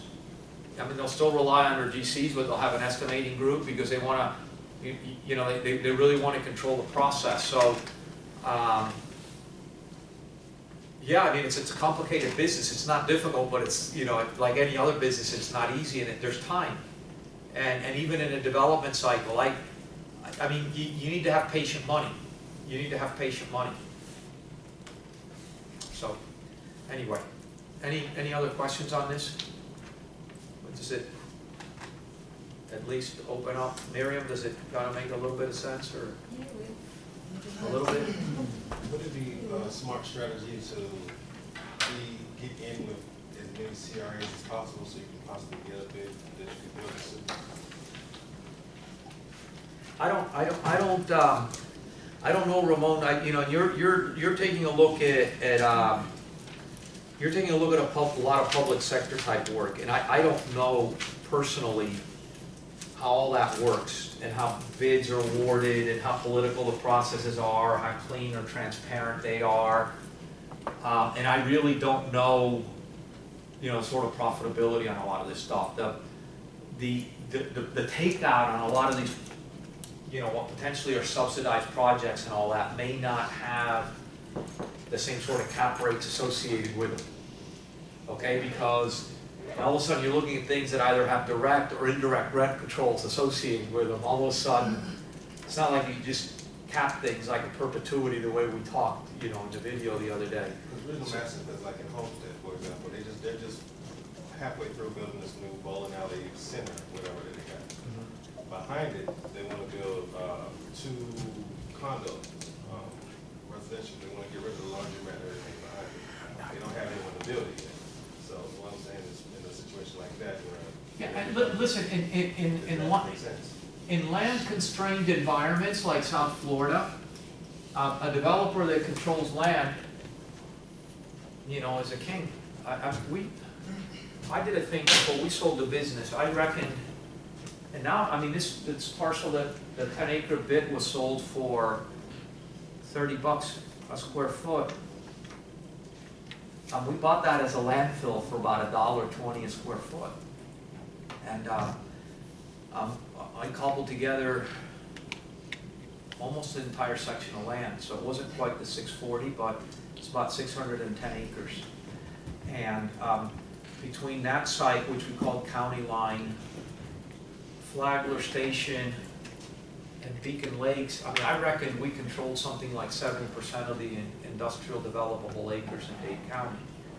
Now, Beacon Lakes was a joint venture with Pro, what's Prologis now, it was AMB at the time, but, um, yeah, so our thing was if you can control developable land, you win. As long as you've got the patient enough money to get there, right? Because you've got to be able to live through development cycles. Um, Now, you know, the market's changed in the last ten years, so, you know, there, there's been a couple of expansions of the urban development boundary in Dade County and, um, but a- anytime you can get your, your, you know, your hands around land, and to the extent that you can get land and then do some sort of land use to it, to a greater use. So you buy it with use A, and you can convert it to use B, and use B has a higher value. There's, so there's upside in, in building to one yield and selling it different, but there's also value in buying land at a particular, you know, value or, you know, end use, and converting it to a higher use. Talking about horizontal development. Just flipping the thing, you know, you buy a piece of land that's zoned agricultural and you convert it to residential. Yeah. You know, uh, historically in this country, it may be under duress now, but historically, you know, you, you, you buy a, a, you know, an industrial site that you can convert to retail. A is not in vogue now, but it used to be a higher use than industrial, right? Um, Or, or, you know, the problem with industrial to residential is you usually have site conditions that don't make it that easy to, you know, but you can think in urban cores, maybe not in South Florida, but urban cores where you can take old loft-type buildings and stuff, stuff that was, you know, zoned office, and, and all of a sudden you create a higher density uh, with multifamily or something. So anytime that you can do, you don't have to develop it, now you've got a right that, that has value. So there's a lot of different ways to make money. Mean, the higher the value, if you take a look at, if you look at the value creation, the earlier in the genesis of the process, the more the value creation that you can make, right? You can make a lot more for a lot less money by buying the land and changing the use than you can by building to hundred and ten basis point, you know, spread. Okay? I mean, you could double values here. Here you're talking about like little, you know, little nibbles compared to further up the food chain, but that requires local knowledge and expertise and the right consultants, and luck, and political savvy, and, you know, and a bunch of other things. Do you wanna go over the weighted average cost of capital formula? Cause you said figuring it out for real estate companies was really difficult. I think the way, the, but you needed that for the discount rate, for what he built the, for what he built the property on.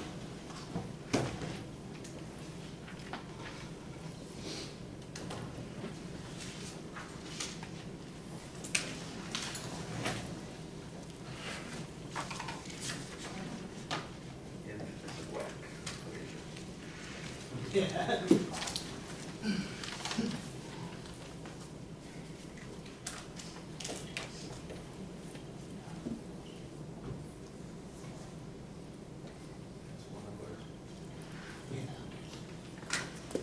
it's not that complicated, man. Does it look complicated? Some people. The It's total very simple, it's, it's, it's your cost of debt, cost of preferred stock, cost of equity, and it's the proportion of debt times the cost of debt times one minus your tax rate, plus the proportion of preferred stock over total capital to your cost of preferred, which is the coupon rate, which is the coup, average coupon rate, and the total equity over total capital multiplied by your cost of equity, and you could use CAPM or the Gordon growth model um, to calculate that if you've got um, stable growth. So one is cost, the other is debt, the other is equity? Yeah. I didn't know that. It's in What the is video. I saw the video, Yeah. doesn't mean it sticks. Okay, it does not. That, preferred stock, equity. Sticks now. Yeah. That's good. So, um, Actually, before you erase that, in, in, uh, in real estate, the preferred stock, right, that's like private money. know, No, How would that, how would that work? Joint ventures? no, preferred stock, I mean, in, in the REIT realm, preferred stock is used a lot. So in the private realm, people don't use preferred stock so much, people use debt. So, Ah. so, um, think of preferred and mezz as being between debt and equity, but having some sort of feature of, of, of the I, of the others. Preferred stock is stock, and mezz debt is debt, so they're different, but they're sort of in the middle between traditional debt and traditional equity. Mm-hmm. Um, preferred stock, uh, it's a, it's a, you know, it's just, it's, it's, it's, it's a stock, so it's a residual claim on company assets after all liability's been satisfied, has preference to common, but it also has a common, it has a, a lot of the features of debt, so it'll have a coupon, it, it'll, it, it'll, it could have a call price, so it could be callable, uh, it, it could be cumulative, And it convert. could be convertible, okay? So it, it, you know, it could be perpetual too, but it could, um, No. mezz debt tends to just be debt, so it tends to be subordinated debt, higher coupon rate, and it's typically secured by the owner's equity interests in the venture, okay? So, um, I, I, I, I don't need to spend, uh, a lot of time on what the book talked about with diligence. I'm kinda losing track of time, because, It's, uh, two oh five. no, it's only one. No, that's uh, an hour behind. No, no, no, no, it's one o'clock. No, it's. No, it's not. It's one o'clock, No, it's it's one not. No, it's not. No, it's two. Check your phone. I don't, I don't bring my phone Well, the clock and that is wrong. It's two o'clock. No, no, I no, still- that, that one's Hey, ahead. I still got three and a half hours. Okay, look, um, diligence, so, so chapters, I'm gonna go to the textbook for a second. Uh, chapter seven talked purely about diligence, and chapter twelve talked about buying an entire company, okay, and I, I, I don't, so, so in the context of real estate, we don't really buy a lot of real estate companies. I, curiously, we did sell a real estate company, and so a lot of the, the issues that this guy talks about are things that came up, but Um, there's really not a lot of difference between buying real estate and buying a company, it's just when you buy a company, there's some additional considerations that you need to have, okay? Um, chapter eight talked about, uh, long-term growth patterns in metros and, uh, you know, I don't have a lot to add to that, I, I do things a little bit differently, but you do have a, like a GIS class and a market analysis class in the program where you look at things in a totally different optic than, and I kind of look at things just pure sort of supply demand and what the impact is on the pricing. Uh, And Brian, we are gonna take a, a, a- a break early today, so you're not gonna ask me today, and then we'll take a break. Before you ask me, we'll take a break today, okay? Appreciate it. He's about to ask you right now. Well, if he asks me, he's gonna have to wait. So at I wanted to preempt him, okay? Uh, So due diligence is a process that we undertake typically, and we think about it, that we undertake prior to acquiring something, okay? So in our context, we talk about real estate, but it could be, if you're buying a company. My brother's selling, my brother owns um, a bunch of, my brother sells pretzels, those Auntie Anne things. So- Like he sells the franchises or just he no, works he at an has, RTM? we have, well, I'm in the deal, so somehow he gets, he drives a nice car, I don't get anything, but anyway, he, I don't, I don't, I I don't even, I don't follow it, cause he's the one who works it, but, um, we have like forty of these Auntie Anne's and, and like, uh, Cinnabons and stuff like that, and so, no, most of them are, most of them, so they're in New York, there's some here, so it's New York, some here, and some in Puerto Rico. So he bought it from a guy who started with one, and he, guy moved to Boca, he retired, he moved to Boca, and he kept buying more, and he was one of the largest franchisors in the network. And so my brother bought it, and he's added a bunch of stores and opened up some. We own the ones in, at Macy's in New York, at the big store there. There's, we actually have a, a Carvel there as well, that, that's really outside of. So anyway, he's selling it, there's a, so he was gonna, he always went to the franchise, uh, franchisees meetings looking for people that wanted to sell one-off stores, because his goal was to sort of bolt on a lot. And he came across some guys that actually said, hey, we, we, we wanna buy this, and it's guys that own a couple of, own, manage a family office for two large families. And so they're gonna buy it, my brother's gonna stay managing it for a while, and then, but anyway, but these guys are doing their investigation, they're doing their diligence. So they look at different things, because they have leases, right? So they look at lease terms, and they look at cash flow, and, you know, when you look at real estate, you, you look at leases and you look at cash flows, but there's a whole bunch of other stuff you gotta take a look at, because it's like a, a real tangible asset that you gotta take a look. at. And ultimately, what I say is, due diligence is about mitigating risk.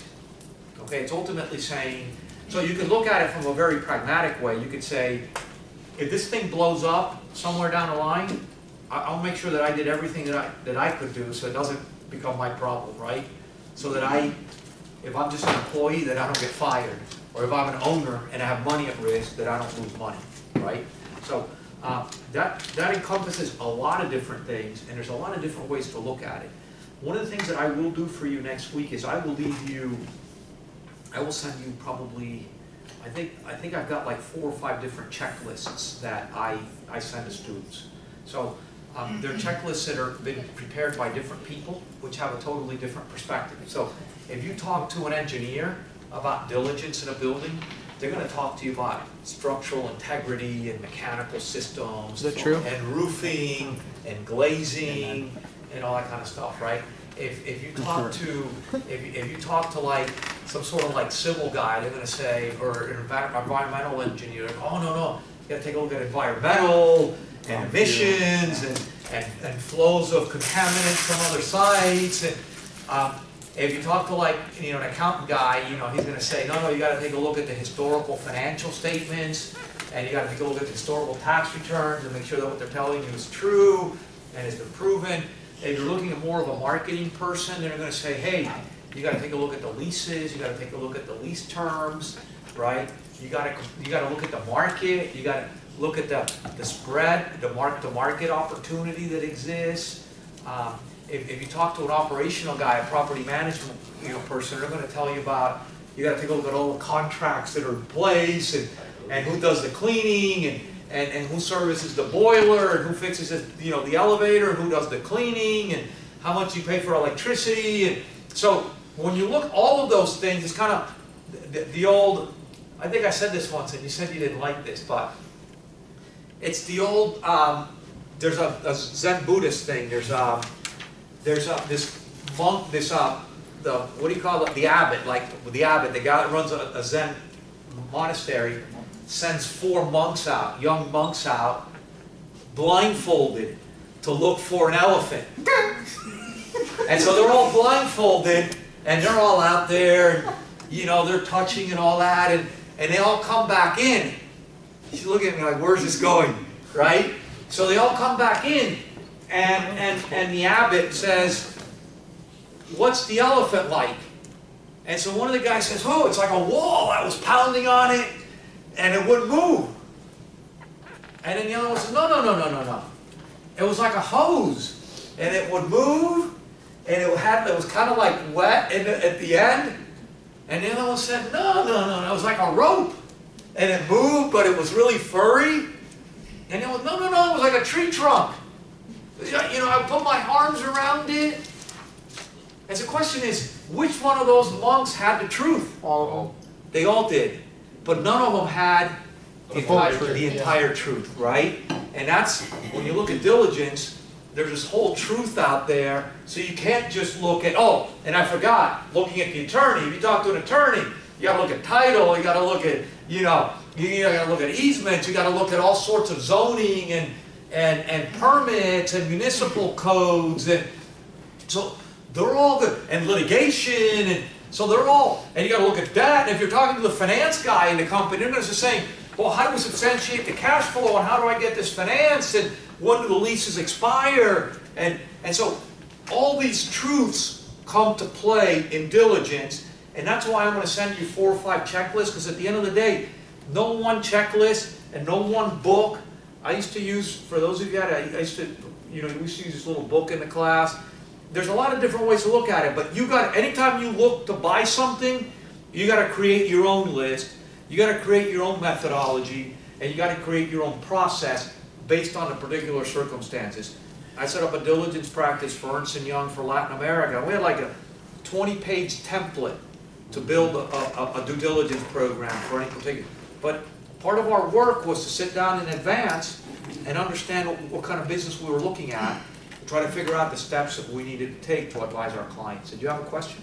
Yeah, I was just wondering like, at what point, or if there's ever a point where you can assess that look being too diligent? If, is there ever a thing like that, where you kind of like overkill it to the point where you discourage yourself from ever investing in anything? Does that make sense? Analysis or paralysis by analysis. Yeah, Yeah, I mean, analysis yeah, yeah, I mean, yeah, I mean, the answer is probably yes, I mean, uh, but that's with anything. I would tell you this, I would tell you this, I think there's certain things, I was telling some, um, some friends of mine called me, um, from Spain the other day, one of, they were looking at a hotel development site in, in DC. And I'm like, oh, I go, guys, get on a plane, stop putzing around, get on a plane and go kick the dirt. Go, go, and forget what people are sending you, go and look at it, that's the most important thing, touch it, okay? I said, and the other thing is, is, and this is my rule of thumb, um, anytime you look at something, if you're not prepared to spend a couple hundred thousand bucks hiring an attorney to take a look at title and stuff like that, hiring an environmental engineer, hiring a firm to take a look at structural, you know, um, having somebody put all the leases on Argus and model all this stuff out, hiring somebody to do a market, you know, study for you, um, um, uh, you're not gonna be able to underwrite something, so I think there's a sort of minimum number of things out there that you could do, and then, yeah, you can dig to the point where you can talk yourself into saying, well, these people are never gonna, you know, they'll never renew, or, wow, these people are, you know, gonna go bankrupt, or whatever, okay, so, you know, there, in any business, there's always risk, right, there's risk getting out of bed in the morning, so, um, you can definitely talk yourself out of stuff in diligence, but, uh, I- what I would tell you is, is it relates to institutional owned real estate in this country, and this is the interesting thing, I, you know, I, I spent time with this WACC thing, right? Because it's all sort of circular thinking. I, I told you guys, I didn't want to tell you what cap rates were, I was gonna let you figure them out, right? And It was this theoretical formula in, in the book, right, It talks about, um, cap rate is discount rate less stabilized growth rate, right? Um, You know, the reality is, most firms out there today in this industry have similar, similar leverage, similar, similar sources of equity and similar so- sources of debt at the same costs, at the same uh, uh, tax structures. And the reality is in real estate, we tend to talk about tax efficient environments, so there's no tax involved. So people tend to have very similar, very similar costs of capital, and people tend to have um, um, um, very similar expectations on growth rates. And then we talk about, I, I showed in, uh, in the slide in one of the videos that long-term, you know, inflation in this country runs at, I think in the period I looked at was a little bit higher, it's like three point nine percent, but inflation in this country, cost of living in this country is about two and a half percent every year. Most leases in this country have two and a half to three percent rent increases. So you can easily get to the same kind of cap rate, even though the market tells you what the cap rate is. You can, you can look at a bunch of transactions and figure out what the cap rate is. But you can, you can sort of empirically calculate it as well, right? And, and the proof of all of this is, there's a theory that says, I, I told you people that real estate is a financial asset. And a financial asset is worth nothing more and nothing less than the net present value of the future cash flows, right? And so a, an intelligent and willing buyer would never pay more than what that net present value is, nor would a willing seller ever sell for less than that, right? And so you've got a point where things transact. And, and if, if theoretically that doesn't make sense, I'll tell you empirically, you can look at a Class A asset in this country today. Um, I'll give you a Class B. Um, This is a deal that just is in the market now. I'm in a deal that we own a shopping center down in Pinecrest. Uh, JLL has it right now, the retail guys have it. So they're- send flyers. They'll probably send 40 to 50 books out to people. Okay? Um, Out of those, they're probably going to get about, and I can tell you this for almost all institutional transactions in this country today, they're probably going to get 20 to 25 people that actually take a look at it. Now, they've already told the manager what they think they're gonna get for it, okay? So they've told them X, I don't know what that X is, okay? And when I say I'm in this deal, I, you know, I own like the corner of a parking spot, okay? Um, out of those twenty or twenty-five guys, probably ten to twelve are actually gonna submit bids. Do you know what the dispersion is gonna be in those ten guys? Let's say that the price is twenty-five million. Do you know where these guys are gonna be, what the range, we talk about dispersion, we talk, do you know what the range is gonna be? Fifteen to thirty-five. Percent? I'm gonna tell you, the broker's already guiding them, they've put together Argus runs, they've given them the people, they're telling them what the seller's expectations are, they're already telling them the kind of financing that they could get in place, I read one of those for you last week, right?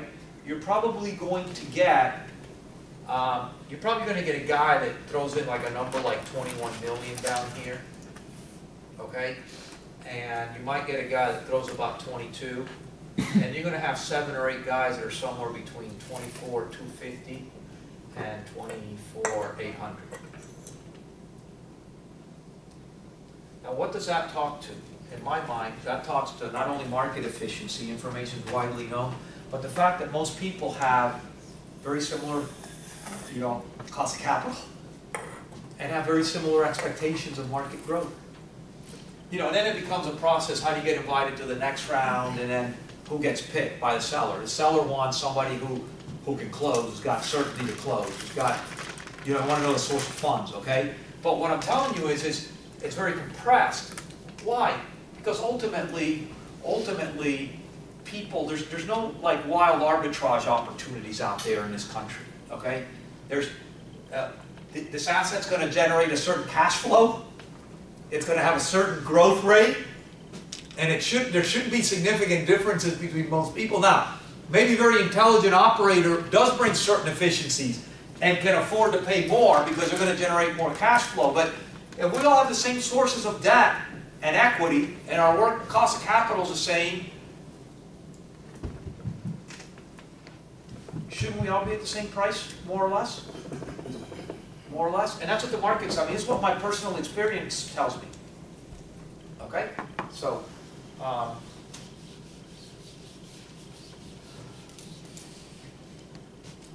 so you're analyzing facts and assumptions, you're doing sensitivity analysis, you're taking a look at, at external factors. I'll take a look, I'll, I'll bring you not only the checklist next week, and I'll leave those with you, but I'm going to show you books that, you know, I've put together, that people put together to justify an, an, uh, an acquisition. And, and it'll show you the things that you look at in order to do it. Yes, Judson? On that, on that deal right there, would you, would you say that on average, when they're selling a property like that, they're gonna sell it at a four? Like if it was listed at twenty. No, I mean, this particular thing, I, But I just in it, but just like, not necessarily that one, but just overall, I mean, what would they, what would they typically list it as? Well, so, so, so in institutional sales in this country, we, we, I mean, there's no listing price. Yeah, There's a call for offers. Um, now, now the broker, the broker's giving the, the manager, the GP an indication of value, and they're gonna guide bidders to where they think the seller wants to be, and where they think a deal gets done. Um, a, a Class B retail, and, I mean, it's pretty highly leased, but class, it's a Class A location, I'd say, for retail, but it's a Class B center. It has a big office building with it too, so there, there's really, it's a sort of mixed-use facility. That's probably, uh, five seventy-five to six cap rate is what I would tell you, that would be my sense. at twenty-five? At twenty-five? I, I don't know what the, I don't know what the value is. Oh, Because I forget, I mean, there's, there's like thirty thousand square feet of office and like forty thousand square feet of retail, I, I don't And know. I, the reason I. I don't know the values. Because I know that earlier we spoke and we said, okay, like the market typically would be four to four and a half, not necessarily. Well, no, but that, no, but that, and I told you, retail today is like, forget that, and suburban office is not CBD office. So suburban office is already a six cap, I'd say. Okay, Class A suburban office is five seventy-five to six in, in major metros. Yes, Kenny? How would you combine that ca- uh, that reversion? Would you separate the cash flows and find the, uh, the, uh, the value for each? Yeah, if you're buying that, So if you're buying that, yeah, if you're buying that, I mean, you, you know, there's, there's uh, Argus runs for the office component, there's Argus runs for, for the, uh, the retail component. Um, that, that center, I mean, I, I don't think you could split it, because they have common parking and all that, so I mean, that center is a mixed-use facility, which is office and retail. But you can take the cash flow from the office and the cash flow from the retail. Well, you ultimately, yeah, you could, yeah, it's one, it's one and- investment. Yeah, and then And you can have- Take the cash flow from the office, take the cash flow from the retail, get the, uh, the growth factor and the discount rate for each, and then find the present value for each and then combine. Well, the discount rate should be the same for both. Ah. Okay, the discount rate's the same, now you can assume different growth, you can have different rent assumptions, you can have different vacancy assumptions, right? Um, You can assign more risk to one or the other based on the credit of the tenants. There's a lot of variables that affect your valuation, right? You can ultimately say retail sells at X cap and office sells at Y cap. And so you're gonna, you're gonna be guided or influenced by comparables in the market, okay? But ultimately, a seller wants X, and they're gonna sell it for X or not. I mean, they're under no obligation to sell it, so. um, I'm going to, uh, I'm gonna stop, because I- I'm gonna cover this next week, okay? I'm gonna cover this next week, and what I wanna do is, is before we take a break, I wanna, I wanna work a little bit on a couple of things in Excel. And I, and before I do that, though, what I, what I wanted to do was to field any questions on the videos or on any of the things that we did. Okay, Isabel, you've been waiting, you, I've been waiting to call on you all day. What is your question? Oh, and the NPV, and then when you did the second IRR, you paused the video of when you, when you did it, and then I couldn't figure it out. I can't figure out how to go back to. Okay, NPV is, I, you don't need your computers right now. Oh, I'll tell you when to open them, you don't need them right now. Let's answer questions first hypothetically, and then we'll go to the computer. And I wanna show something first, first, and then we can go to our computers, okay?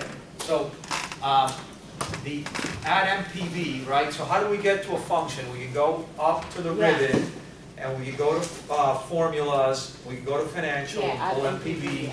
or we go equal NPV, Yeah. right? Okay, or we go to a little sort of dialogue box there and find it.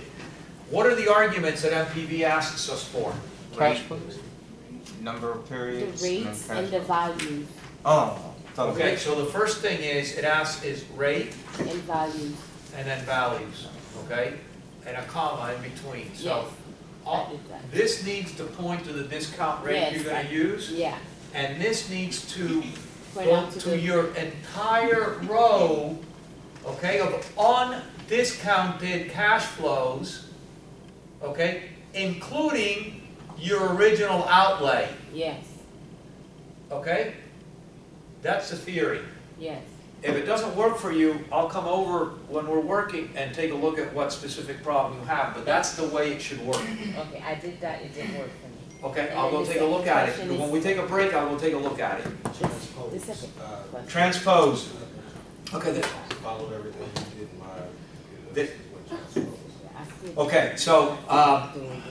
Isabel, we're asking, is asking a question, it's good. So transpose, the at transpose function is, so these are what they call arrays, okay? And so basically transpose will let us take a, a row, I'm sorry, a column of numbers and convert it into one row, or will allow us to take a row of numbers and put it down a column. So we can go both ways, okay? What we need to do is, is if, if we're gonna go and take a row and put it down into a column, we need to identify first how many cells we have. So let's say that we have ten cells that we're gonna transpose down, right? So what we need to do is identify and highlight the ten cells that we wanna do, okay? So we highlight that first, and then we go and hit equals transpose, or go up to the functions and get transpose, and open up the bracket. Now we go and highlight the array, okay? And we close it, and we go Control Shift Enter. All at one time. What does that do? That allows it to be vertically correct? The Like way the control shift Excel, enter particularly. the, the way Yeah. Excel handles arrays, and this is an array in, in Excel lingo, it's not just enter, it's Control Shift Enter. Gotcha. So when you start doing like, and we won't do any of these um, uh, matrices, but if you do matrices in Excel, it's the same thing, Control Alt Shift, I mean Control Shift Enter. Okay? So it's just a way to get it done. Does that, an- now, I'll take a look at it if you want, but that's just the way it works. Okay? I heard you say that in the video and I tried it and Control, Shi- it depends where your keys are, Control Shift Enter. Okay? Isabel, you had another question. Yes, and then regarding the IRR, you Yeah. paused the video, you, there's some things when you were doing the IRR, you made a mistake. I, I, I, was following through, but I couldn't find how to get back to reverse the IRR. It To reverse the IRR. Yes, because I accidentally, um, take more of the, take the whole, Do you, do you know, I'm gonna say, I don't, I'm. I'm gonna go take a look at it, but I'm gonna suggest something to you, and that is, I am in my computer, and you're welcome to send me your spreadsheet at any time when you have problems. I- I- Like other people, have people sent me their spreadsheets this week? Have I responded? Okay, so, Yesterday. it so feel free to send them to me, because I would be more than happy to take a look at it. I'll take a look at it now, and see what you can get back to me. Any other Data tables, data tables, okay? So we only did, we only did one-dimensional data tables this You were week, going okay? So so we, we only did one-dimensional data tables. You can actually have data tables that are basically two ways. We'll do that either next week or the week after. But, um, we have a cell that we point to, okay? And then we would put a series of variables here, okay? So up to now, all you need to do is find the formula that you want to change. I kept using IRR, because I just kept saying, okay, how does my IRR change based on different variables or inputs? notice what I was saying, the sequence before, right? If I have vacancy, right, or rent growth, right, or cost per apartment, right? Any one of these are variables that ultimately get me to gross income, right? Uh, You know, effective gross income, and ultimately through a series of items down to NOI. And from that NOI, I was calculating my IRR, right? So I can basically build a data table to affect any formula that I have, right? By changing any of the, any of the variables that affect that formula. So typically I would say, figuring for IRR, I would point to wherever the IRR is calculated, okay? And then I would put a series of variables here that I want to see sensitivities for. So if vacancy is five percent, I may want to see it at four point five percent, at four, at three point five, and at three. And I may want to see it at five point five, six, six point five, and seven, because those might be realistic, okay? So what I do is I come with my cursor then and highlight all of this, hit data, right? Um, What if? what if, Data table, Yeah, that's data table, and then I get a box with two the box, Yes, okay? And because we're solving, yes. that's right? Okay, for here, we go to column. Can we just do that with the? with And we point then, then we point here to the variable we're interested in, in, in, in changing and seeing that sensitivity on. Okay? Hit enter, and then it should be good. As long as our plumbing is right. Right. It doesn't, you know, it, it does like little technicalities. There, there's certain things, and I, and certain, so for instance, in this, I, I kept having problems in my spreadsheet, I've got that macro that shows you the formulas. GoalSeek does not like that macro, so it was messing me up. So I had to like get rid of the macro. Um, sometimes it doesn't like formulas. Sometimes it's okay, for some reason, it's okay to have a formula in this flow that points from one number to another. Sometimes it wants like purchase price, it wants to see purchase price. It doesn't want to see a formula for purchase price. And that's, you just gotta play with it. Does that answer the question? Yeah, Okay, okay. other questions, okay. I, I have to have a negative number in in order to calculate. So, so, yeah, so in order to have, in order to have net present value, okay, there has to be an initial outlay. And in a, remember, this is an annuity, right? This is a present value annuity. And so it's, I want to pay X in exchange for a series of flows down the line. I want hundred dollars for the next ten years, how much do I have to pay now? So in order to calculate the net present value, right, the present value of that annuity, there has to be an initial outlay. So the answer is yes. It has to be an initial negative. There has to be an initial negative. Now, you could be the bank and do it the other way, right? You take some money and then you pay some out, right? But that's, that's not what we're solving for. I kept getting no when I did that, You kept getting? No. The- Yeah, like an error number, yeah, an error message. Uh, Somebody here. Yeah, so for the present value, so if you recall, you had like a line of present values beneath the bottom line, I think NOI. Well, And then in the first time, on the five year and ten year, it was different. But in this particular one, they're all the same numbers, but all of my present value are not all the same numbers replicated as the NOI line. Okay, I, I, you'd have to show them that we're doing it. Yeah. But I got, so, I- the first, or the second week, I had you calculate present values Right, in all the of the formula. cells by formula Right. longhand, so that we would understand what the concept So that's was. not crucial? No, we don't do that, no, you just take the whole stream down, Gotcha. you don't need to do Gotcha. that, no, no, no, no. That was only like a building block. Understood. Yeah, I have that issue too, because I have the same numbers, identical, but at the end, next to the yellow box below it, there's a value of like a two hundred or something like that, and I can't replicate that number specifically, which messes Yeah, I think, I think that number you're talking about was, that was a, that's a control. I don't know if you guys notice I do reality checks and stuff, right? Yeah, That's a control, that's a control number that I have for when I grade papers, right? To see what's the sum what's the sum of like NOI? Because if, if my sum is the same as your sum, then you got it right, Because, uh. right? If it, if it's not, then I gotta see where the error is. Mine's off by fifteen million. Oh man, that's like, that's a decent beat. Okay, It's for the second IRR table that, um. for the second I- IRR when I- table. When I went to the what if and the other table, and I accidentally, um. I'll, I'll go take a look at it, Isabel. everything. I wanna, I wanna show, I wanna show, I got a, I got a very interesting email from a, a student this week. And I like to bring real life examples, so the student, and I, I've asked for permission, it, um, they shall remain nameless. Anonymous? Well, No, I just think names. anonymous is like a particular person that like wreaks havoc or something throughout the world, I'm not really sure. Um, But this student will remain anonymous, but the student was kind enough to say, hey, I wanna see if this jump we're doing in class really works.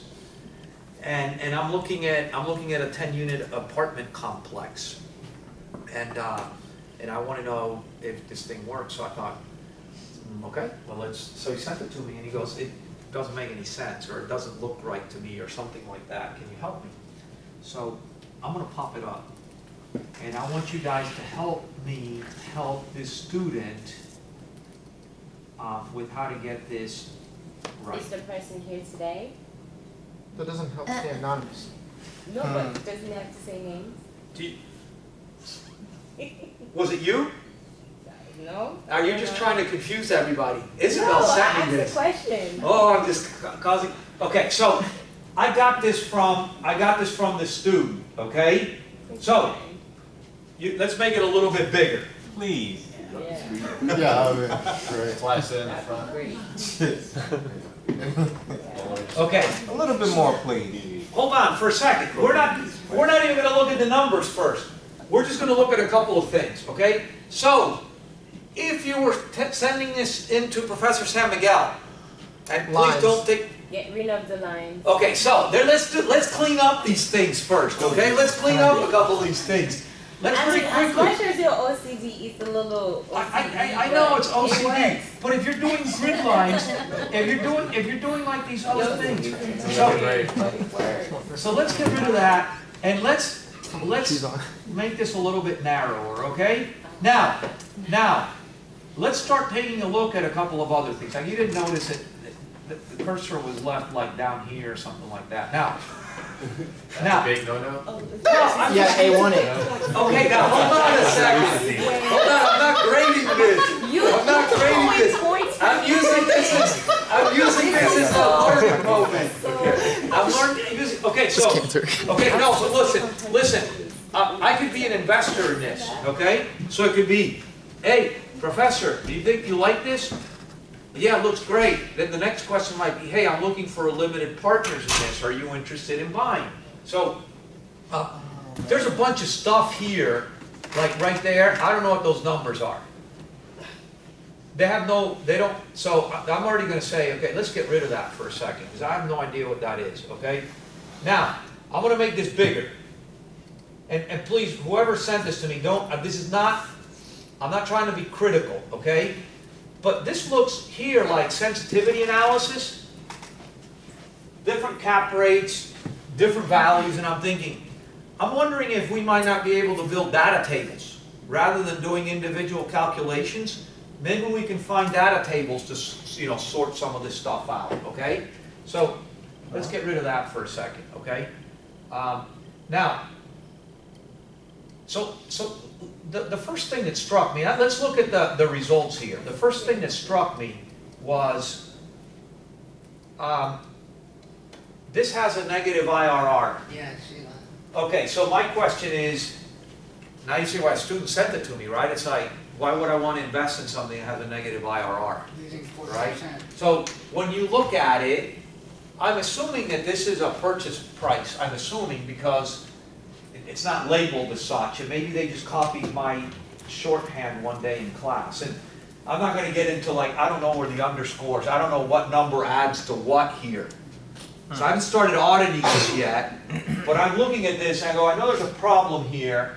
So what's the first thing that I would look at when I'm gonna, I got a negative IRR, what's the first reality check I'm gonna do? buying it?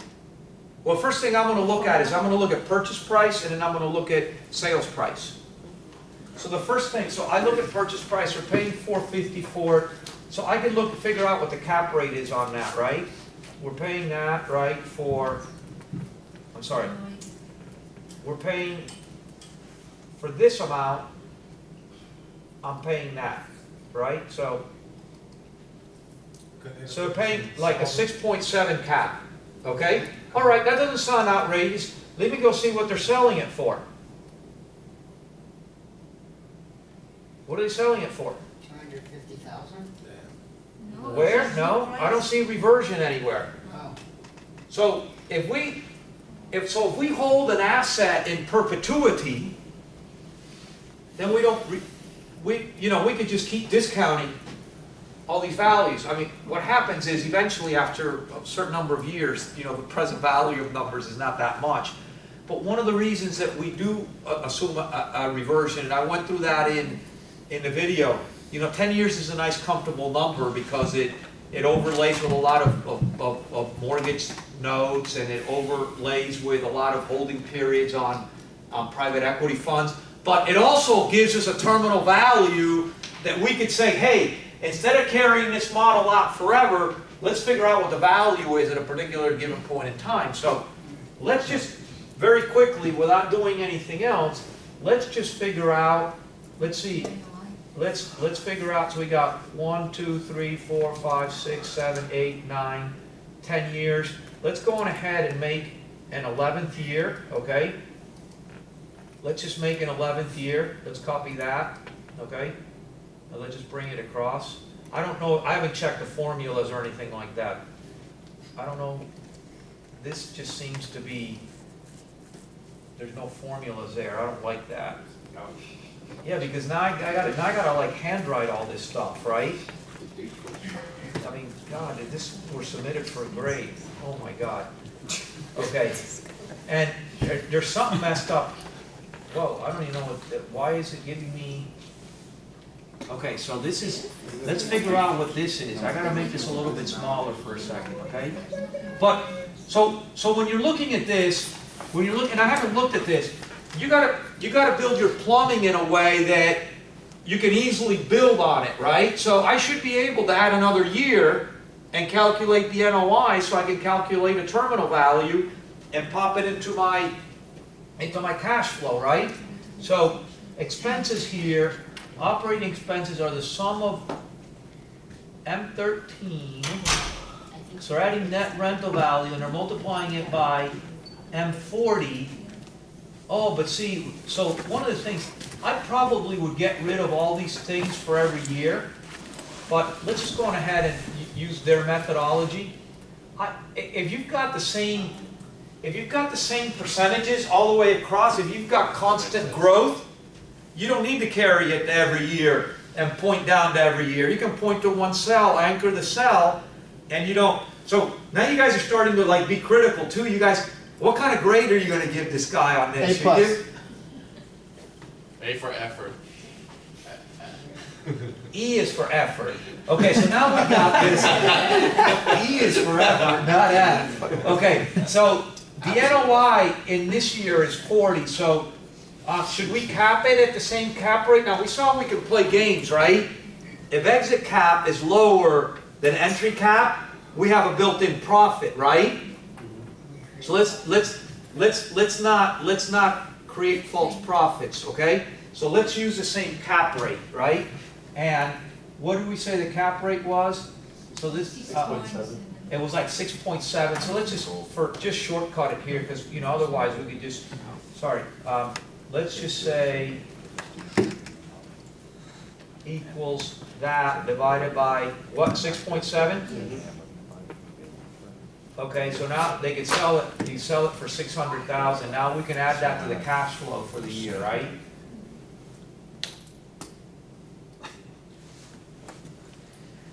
And now all of a sudden, if the formula is right, okay. All right, let's do something, let's, let's pop this down here. Let's move that down here, let's just make this the IRR here. Those are just kind of I mean, I really, I really should just go on ahead and, I'm doing IRR, I don't need to put a discount rate. No, those are discounted. Right, so, well, it's not discounted, these? Those are discounted. Okay, so let's just, okay, listen, let's just rebuild this. So there's a couple of things I wanted to show here, so we can, we can rebuild this very quickly, okay? So, I see that I've got nine units at four ninety and one unit at four ninety. Now, yeah, they're different type units, but they, they, they're the same, right? So, what I would probably do, just to make this a lot quicker, ten, okay?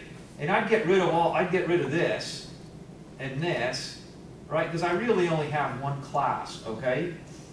And this is an array? Wow, that's strange.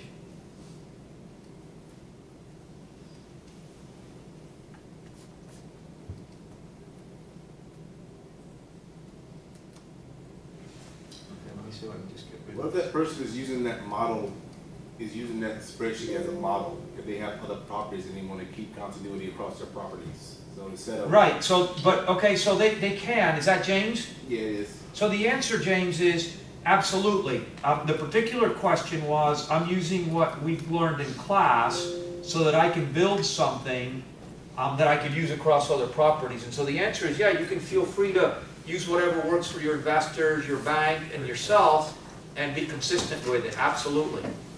Absolutely. So if, if the input of the numbers are correct and it's giving correct output, why does it matter to change the underlying structure? Well, I, so, so I'm giving you my practices, right? So you can, you, you can take the suggestions and work with them or not. If I've got one revenue stream, right, if I've got one, all my apartments, I can call them A, B, C, D, or F, one, two, three, four, five. They can have different sizes, but they all pay me four fifty or four ninety. They all pay four ninety.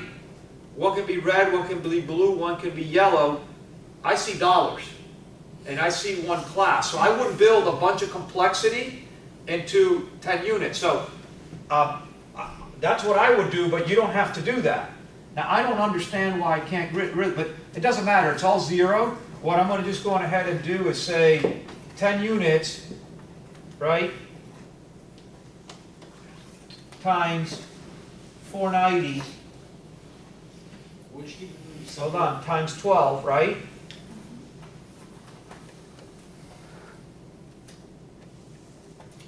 Right, and that's what, what I want to get in rents, right? And then I'm just going to grow this every year, right?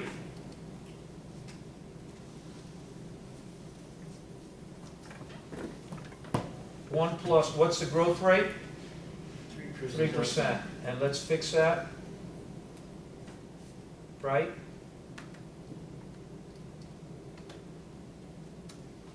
Okay, and then I can just go on ahead and just copy that all the way across. Right? And we said that rent increases kind of mimic inflation. They tend to. I mean, multifamily, the, the difference with multifamily is that multifamily typically have one-year leases. But then they're marked to market every year. And so you don't have a, a, a natural bump or rent increase built into contracts because the contracts tend to only be one year. But those increases in rent tend to mirror the cost of living increase. Right. Okay, so, um, so, um, vacancy and collection loss, right, so that's basically that times the three percent, right? Minus, what was the vacancy here, About five percent, right? And let's anchor that. Okay, and let's go on ahead and, just let me copy it. Wait, hold on. Both of those.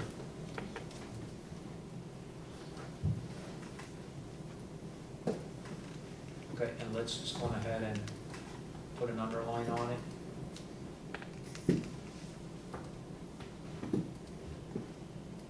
And let's just drag this cell all the way across. Ah, let's copy this all the way across. Okay, and now let's just get the sum here and drag that all the way across, right? And now we could do a reality check too, right? So we know, we know that rent in the tenth year there is seventy-nine oh twenty-two, right? but we started with fifty-eight. We could use our, our future value formula, right? So we could just go that times one plus, Professor. one second, three, right?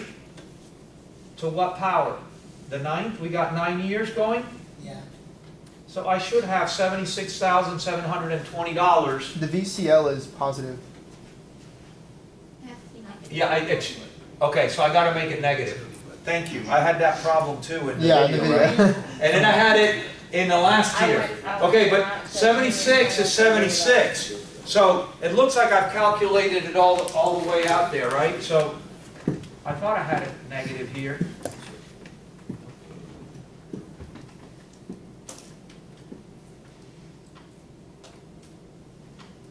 Okay, yep. Okay, now I'm gonna go on ahead and copy the same thing. I'm only gonna do, I'm gonna add all the expenses. I wanna make the expenses forty-six percent for argument's sakes, just to get to a value, okay? And I'm just gonna make this point, I'm gonna shortcut it because I just wanna get to an answer. Okay, ah, What does that mean? uh, I don't know, but it's not good. I've never had that. Operating expenses equal that times forty-six. Okay, I wanna make it negative. Okay, and I wanna take it all the way across. Okay? And I'm just gonna make a sum here of equals this plus this, okay? And I'm gonna take that across, right? And now my question is, now you've got an eight percent IRR. Does that start to make more sense? Might that, might that be a more viable, so what would our weighted average cost of capital need to be below in order for us to have this be a go decision? Eight percent? Percent. Right. Okay? Yes, Andrew? I think that IRR is still using the discounted. Okay, so let's get rid of that. So let's make, it's even better, that's a good observation.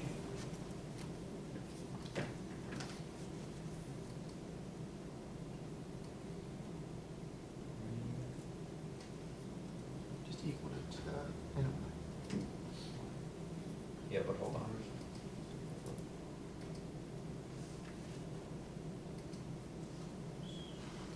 Ten percent. Now you got a ten percent return. If you pay four fifty, right? Now, we can, we can also then, we can also then, right, say, we could use, I'm hoping there's nothing, there's nothing funky in here, right? So we could, we could, um,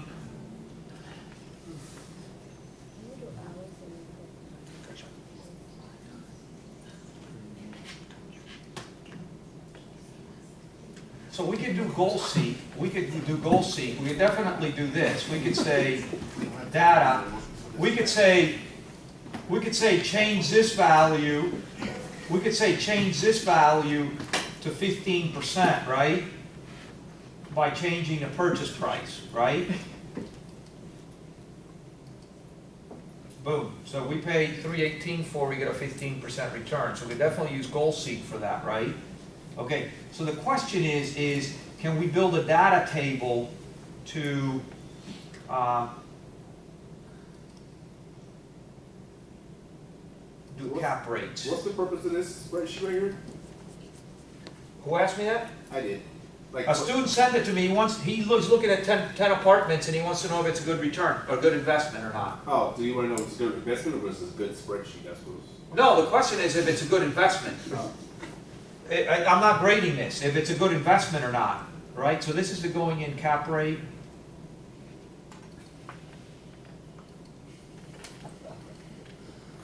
Um,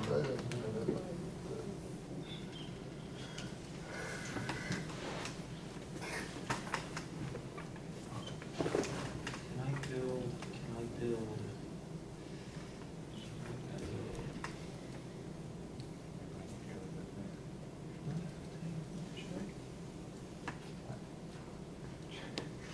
think I'm gonna be able to get this. I'd have to give this some thought to how we can do a data table to make this.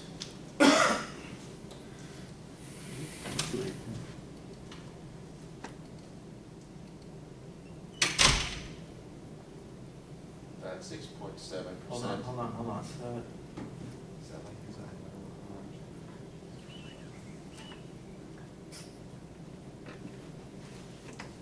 Now, I'd have to give some thought on how I can do a data table. That's not gonna work this way. How to do a data table so that I can figure out what cap rate I should pay in order to get a particular return. That's really the way to do it. I can't just say, you know, what cap rate. What I can do is say, I can set it up in a way to say, at different purchase prices, what IRR do I get? So I can play with the purchase price, and as a consequence, when we do the two-dimensional one, I can see what the going-in cap rate is. So I'll build on that, um, next week, Can okay? you reverse, Can you do it reverse? like, build a formula that puts in the IRR, that'll give you the Yeah, we can do that. We just did goal seek for that, or we could do, or we could do a data table where we can point to the IRR, right? So we could, we could definitely point to the IRR, right? Now, the question is, is what variable do we want to change here? So we can change the purchase price, right? So we can make this at four hundred, at five hundred, right, at six hundred. If that's what you were, if that's what you meant, James? No, just put in a, uh, if you do like a target IRR. Yeah, we did that the already. other Values, Yeah, we did that. We did like targeted fifteen percent and it brought the purchase price down to three, but it wasn't a data table. So I'm just saying, how can we do a data table?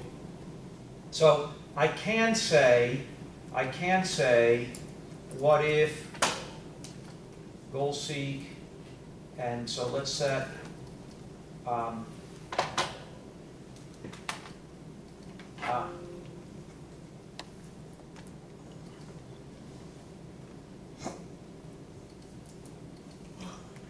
I'll set this to.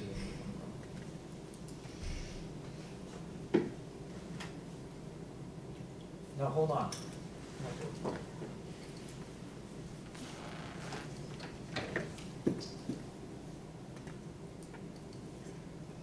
Yeah, it doesn't work. It- Maybe the plumbing's not set up. Let- I'll set this up. I'll set this up for next week or the following week when we do the two-dimensional data table. Okay? Okay. So, so the real question or the real issue here is, is what I wanted to bring out here was, we gotta have terminal value. We gotta have terminal value, otherwise it's very difficult to get a realistic IRR. Now that we've got an IRR, we can compare that to our weighted average cost of capital. And as long as that IRR is higher than our weighted average cost of capital, the implication of it being that we have a net present value of greater than one, then we're ready to go. Okay? Make sense? Okay, questions?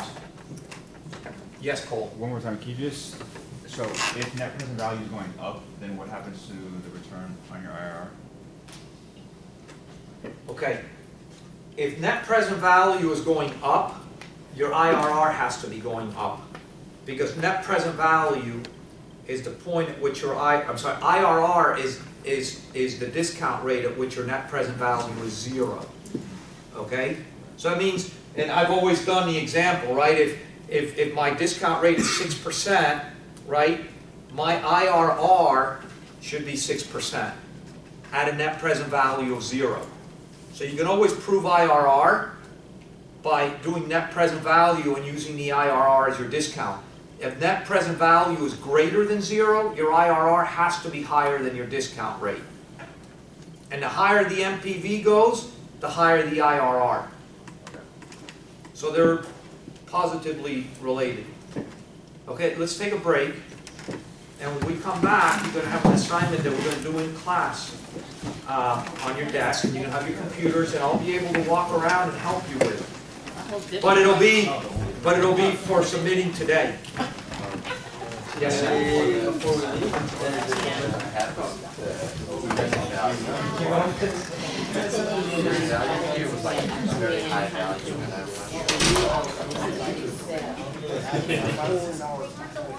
Yes. Well, but you, you have to add this, you have to add, you have to add cash flow from the year, right? I don't know how to do add, this is a map, right, this is all messed up. You gotta add, you gotta, so in year ten, you're gonna get cash flow from your building, plus you're selling it, This one, what do I add? the one forty. Yeah. Okay, at least my IRS starts to. Yeah, no, that's exactly what it should be from memory. Okay, good, because, yeah, that was one of my shit with this sentence. Okay, but, but, but, but forget copying, try to understand the concept. Right, so the concept is, is in the year in which I revert the building, I get the cash flow from the building, plus I get the sales value from the building. So that's why you have all that cash flow in that particular year. Isabel, show me. Yes, Kenny? Oh, about to say. Well, but she's been asking for a while. Alright, Okay, but I'll be you- right back. You have to, you have to plug it in? No, it's already plugged in, Okay. It's- it- I'm, I'm gonna turn this my, my Excel, out. Is this your brand or something?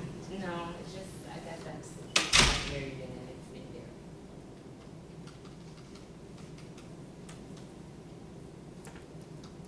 What am I looking, oh, I'm like, It's coming, you know, come down, oh, yeah, just a minute.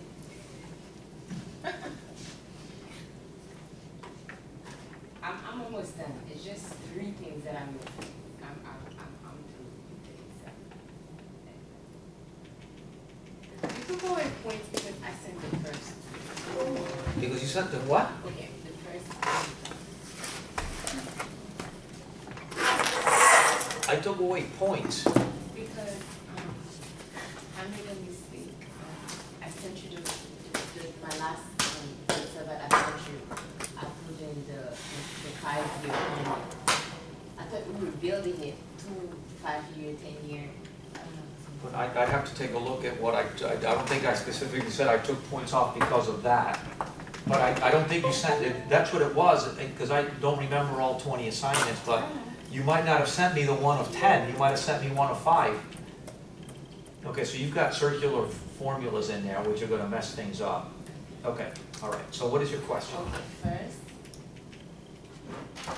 my NPV is not looking, it's not, not the right one, even though I put. Okay, well, show, show, show me the, show me what you're pointing to, just, just do it all over again, just do on Yeah, let's prove something, let's prove something, get, get away from here. Just go over here and do one PV there. Use, use, use, you should have a mouse, use, use the discount rate. And then the discount will keep down there, You- I'm sorry, use the IRR. or oh, you see, I'm Yeah. Comma, comma, and then you go to your cash flow, yep, yes ma'am. Yep, and I let it go, and I close it. no, there. Okay, so it, it, it's good, it's good, at, at this rate, it's good, right? The net present value using your IRR as a discount rate gives you a net present value of zero. So that works there. Now, come over here and redo the formula. so, Just redo it, just do it from scratch. NPV. Just open up the bracket. Okay, put it right, go all the way down, show me where you're pointing to. my rate is down there, it's my ex, my ex generation. No, your I said- discount rate. Okay, because this is, in the, in the video, you didn't do it, so I was trying to point out. The which one discount, you rate- the did. discount rate, Oh, it's just,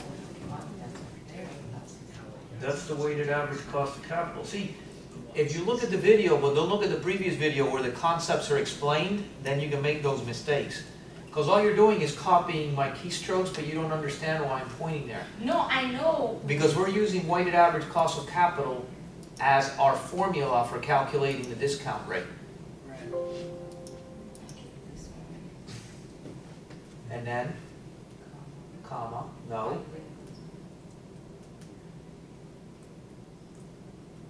There, comma.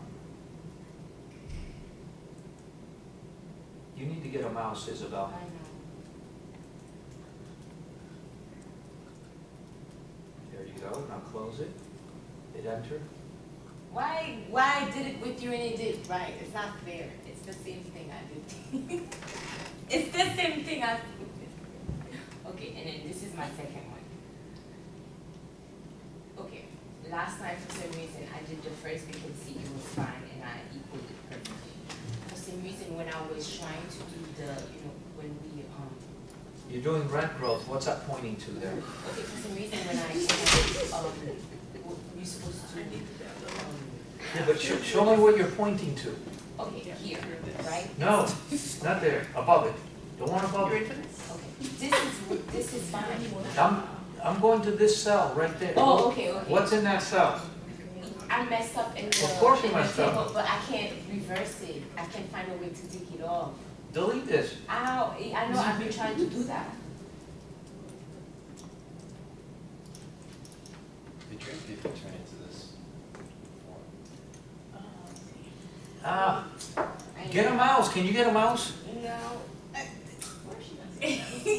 Come on, Professor, we just, you know what, do this in between work. You don't have time, you don't have a whole setup for it.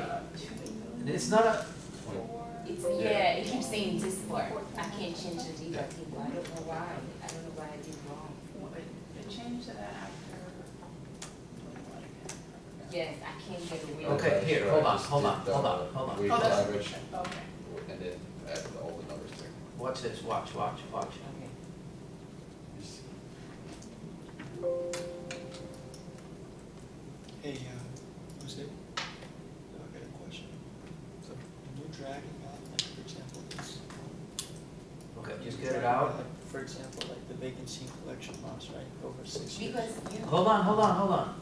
How do you, like, Okay. Oh, it's for example, on that Okay, now specific do it. equation, like you go like sum. You see, you did that, but you income paused your times, video like, and you went and do right? it and then. So No, I didn't do anything Yes, like yes, that. yes, I I swear. didn't do not Yes, that yes, one, not yes, that. yes. No, Yes, you yes, Not that, it's the okay, hey. But once you reference Because Excel, the how do first you video, do you that made a in cost? mistake on How do that you- one. But Of course I then make you- mistakes, I know, I I'm, did I'm gonna make So mistakes. like with the But money when side, you right? did this one. Yeah, Show me how but in, uh, with Mac, just press Command T. Use five point seven, Man, right?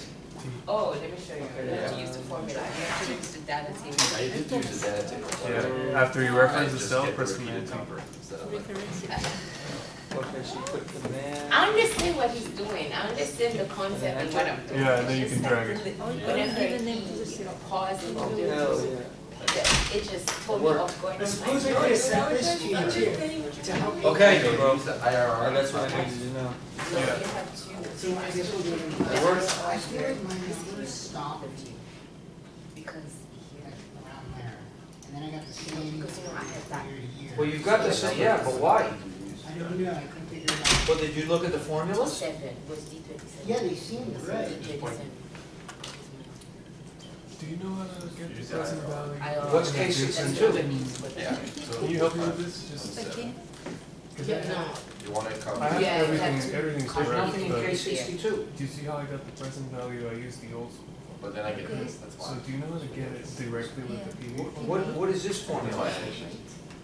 The rate is, What, you're, you're growing stuff, right? Is that, you're growing at a rate? yeah. Yeah, we're on the. Why aren't you, why aren't you, why aren't you fixing it? You have to, um, Why aren't you anchoring it to the, to the rate? That's the question. where is it?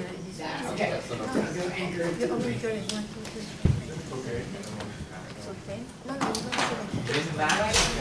Oh, you just write it in? Yeah. And I want to be able to drag it. Come over here. Bro, I'm I don't have a blue pen. Yeah, I didn't do it. I think it's this. I'll take a look at that. No, I wasn't gonna do work it. But I can do that. You know what figure out? Nothing? Okay, I'll go with it, I'll go with it. Okay, listen, Obviously. so, listen, I'm on two X the whole time. you, you got, you- you've got an hour and fifteen minutes at four twenty. At four twenty, uh, you need to send your assignments in now. You're gonna see that this is, I'm gonna give you, this is essentially the same thing I did in the video, that you guys have been following along, but you're gonna do it in class. I'm available I will not teach things that are in the video. I will not teach things that are in the video, but I will, if you've got, problems, I'll come by and say, hey, let me see it, and I'll try to work through problems with you. Does that make sense? And, and, and what I'll do is I'll put a similar thing up on the board. If you want to hear it, and I'll explain it, you know, to other people, I'll explain it, and if not, you're going ahead. But I'm available, I'm available, I'm here, but I want to see you all working on these things, okay? So, so that, um, we get practice in class. Unfettered, no work, no phones, no dogs running around, no children throwing balls, no wives yelling at us, no husbands screaming, no maids walking around with noise, you know, with vacuum cleaners, okay? You'll see it's very, very similar to, you'll see that it's very similar, but why don't you read it first, because it's not exactly the same thing. So there are some slight nuances to it, okay, but you're gonna see that it's very, very similar to what we did in the video. James, here you go. Alec? I can't my IRR, and when I try to use it, it just copies from uh, the IRR. Judson. So we have The something. word, so it goes. Did you see where the big arrow was on the thing? Yeah, But you see, it kind of makes sense now? like, like here basically, was, I wasn't, I didn't have, I didn't, I didn't. You didn't have, you didn't get, but I'm saying in the other one. Yeah, but- You didn't have- Yeah, because you gotta have, you got, you gotta, you gotta, you gotta revert. Here you go, Kenny. You gotta revert, when I talk about perpetuity, at a certain point in the cash flow, once you've got it stabilized, there is a value to that stream, to that constant growth stream. So that present value at a particular point in time is what that cap rate is, what that capitalization is.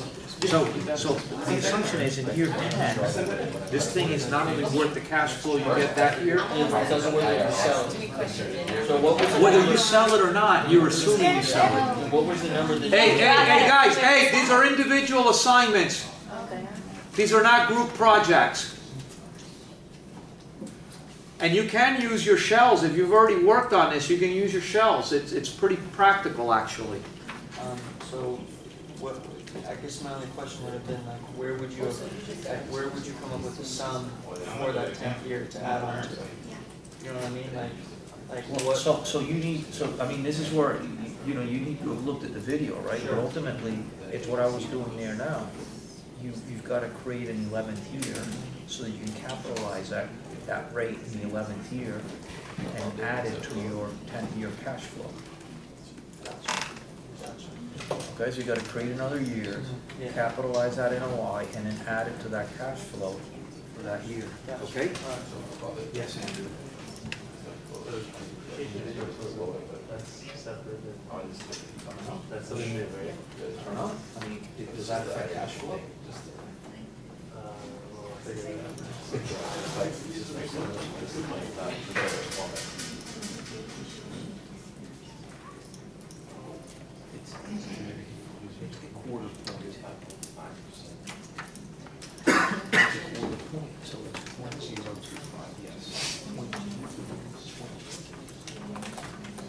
No, no, point zero zero two five.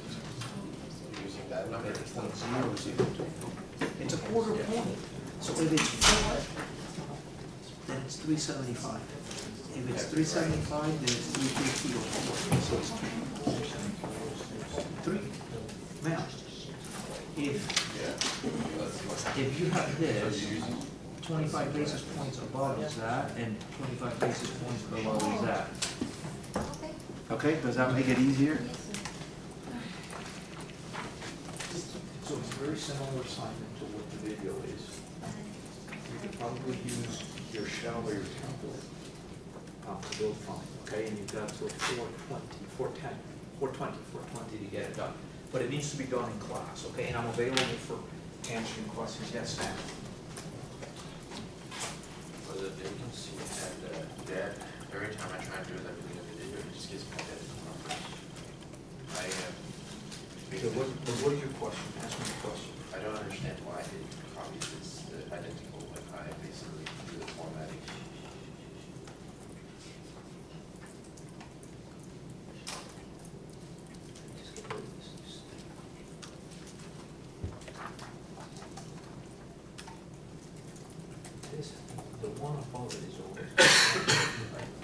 No, you, you were two above it.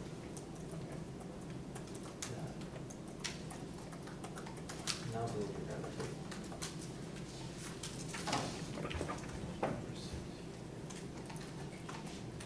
Call me when you're ready to go, put the variables that you want there first.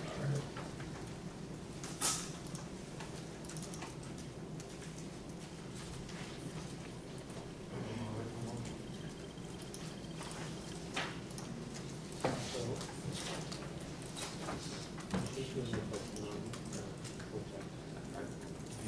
think I had that same thing, thing I did, and I didn't use it, so. It was in the video, yeah, but, yeah, it's a non-cash expense. Doesn't affect that one. So not everything is. Just reflects that. Okay, good.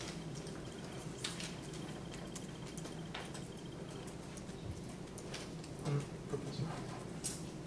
So the depreciation expense is new, so does that go up at the top, No, like in the rental incomes? Because we didn't have depreciation expense before. Well, so if it's an expense, would it go where income is? Well, vacancy and collection loss does, and that's the percentage of PGI, and that's the only one that's also a percentage of PGI. So following that, I would assume that it goes to the top. Like the way you wrote it, you could. Okay, but if it's just, let's, let's go with more basic than that. If it's No, I would assume depreciation and not, expense, right, it no. wouldn't go with income. No. So because vacancy is not really a loss, but like a pseudo loss, it goes up there. But it- it's not hard expense. It's like more of a missed opportunity than an expense. Yeah, okay, but, but, so, yeah, but depreciation expense. Right, would go So definitely what is, below. but what is depreciation? Loss of value. Okay, Or at least like, uh, So think, think, think through a little bit whether that's a cash item or not, and what goes in, what goes into NOI and what doesn't go into NOI, and differences. What does NOI mirror in, Bless in, in REITs? And why, why do REITs have a particular calculation, you know, what, and, and there's a whole explanation I gave one day on EBITDA and how EBITDA approximated NOI. Think about all those things before you build it in there, okay? Okay. And then ask me again before you get to work. Johnny, okay? Yeah, fine, it, it, it, it works, it's, it's, uh, I, I saw this last night with a template. So, I just didn't think, it just, okay, so.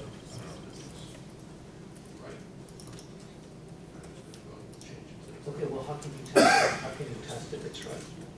So make, make a percentage so that it's easier to read, right?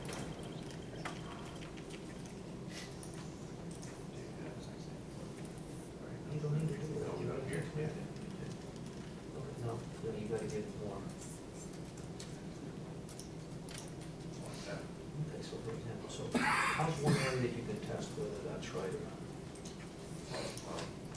What if you actually go here, for example, and say put, put six percent in vacancy? If, if you put six there, it should make that what, five point nine, right? So is that a, so go point six, does that make it five nine? It doesn't look like it did, does it? So maybe that's not right. Okay, that's because on the paper here it said, uh, they're under two percent, so I changed this from two point five to two percent. But I don't know, maybe you should. Yeah, but, but you can't, you, you, you can't start plugging changes in until you make sure your spreadsheet works, because otherwise all you're doing is plugging numbers in, right? And then we, we can't fix it. Okay. So you gotta have, you have to have a steady state, right? I don't know. Five point seven, Right, so if you go there at six.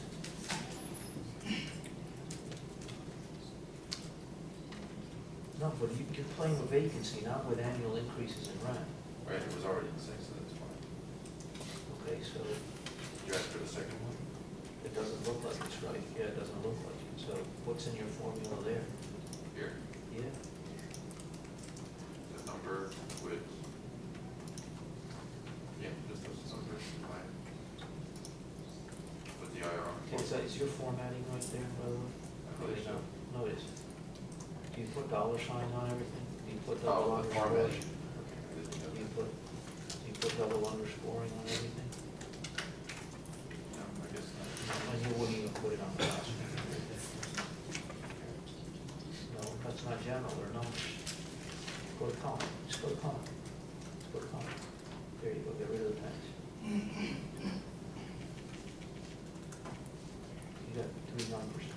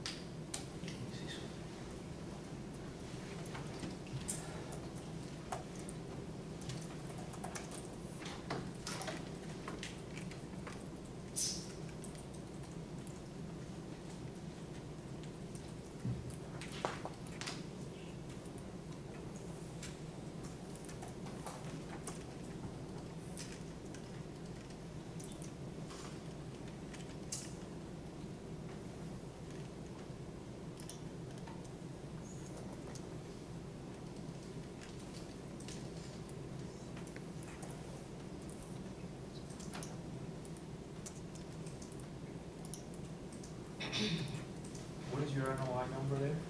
And why? in the eleventh year, It's, uh, four thousand. I don't it's, it's four million. Yes, sir, it's four thousand. And what do you have? Uh, Four million point one oh four. Are your formulas right? Did you check these formulas, did you check all these formulas? I checked them with the. Your- yeah,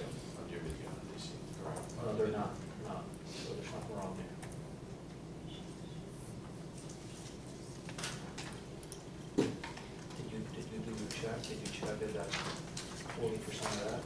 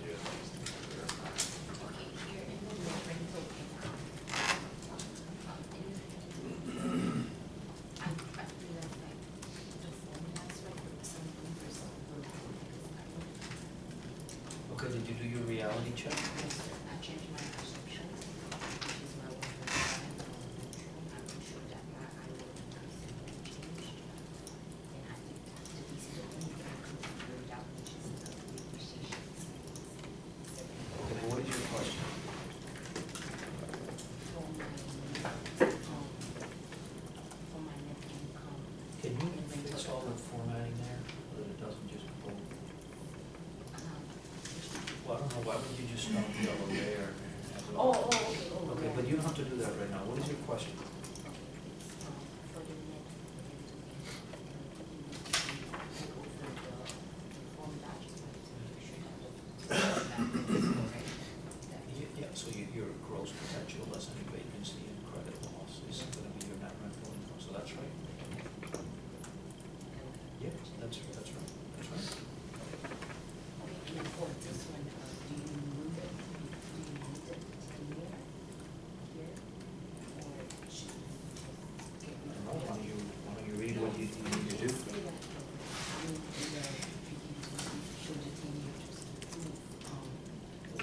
to grab something. Yes,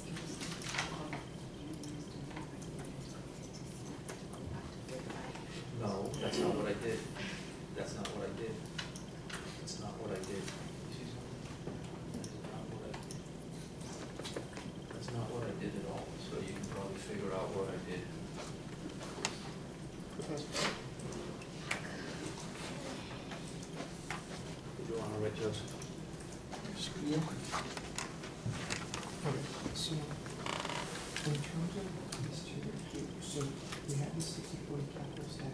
It says that QD is 0.6 percent, which would make QD. 10%. So these obviously just get calculated through it. So you should read as six, Yeah, it, um, the weighted average coupon is six percent, not 0.6 percent, okay? It's six percent. Six percent, not 0.6 percent, okay? I just saw it, okay? And then, so as it goes through and it asks about the cap rate, so before you had it broken entry and exit cap rate, Mhm. and so now you broke it, the entry and exit cap rate was pulled based on, if I just pull the precedents. Um, Well, don't- don't, don't pull precedents, think.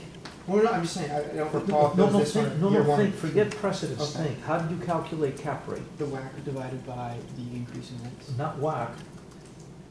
What did the textbook define it as? Um, value, NOI, revenue, No. What, we, we use WACC for what? weighted average cost of capital. No, that's what it's defined. What do we use it for? Um, Discount rate, cost of capital. Discount rate. So what did the book define exit cap, or cap rates as? Repeat? This, um, discount rate minus the growth rate. There we go. Okay, so what's your question now? Discount rate less growth rate. So forget the precedents, forget mimicking, mimicking the formula you had there. Let's think how we get to these things. So cap rate is discount rate less growth rate. Okay, so what's your question? So this is, okay, so I did that, so then now the question is, do I just make that point two times higher? I don't know, what is it, what is the instructions? I don't remember the Well, instructions. it's I- This was asking, last night when I okay, did it's asking for the exit cap is greater by twenty-five bits, so it is like equals, or, whoops, wrong one. Equals this,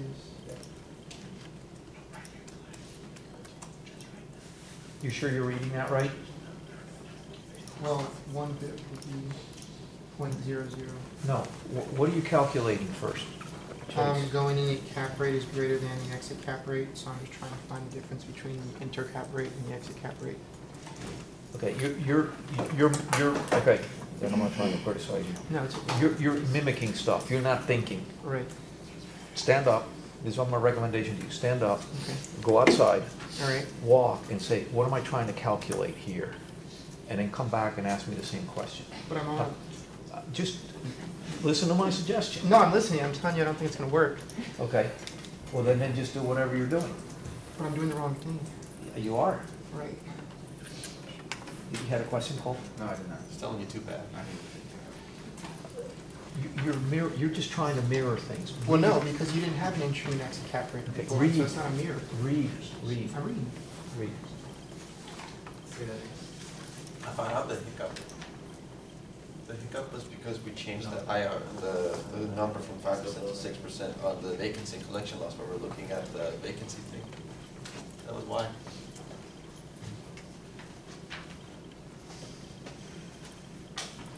The was when you asked me to change the five percent to six percent. but I just asked you to do that to ver, to check. Yeah, yeah, but then we looked at, we forgot to Okay, but now come back. Come back, okay, now come back. Come back, come back. Now, at six percent, you got a five point eight. And you gotta keep, well, this is more, this is Blow it up. Oh, more, more, more, more, yeah, more. The other way. Okay, so, if this is right, if you move this to six percent, your IRR should be five point eighty-four. You understand what I'm saying? I understand what you're saying.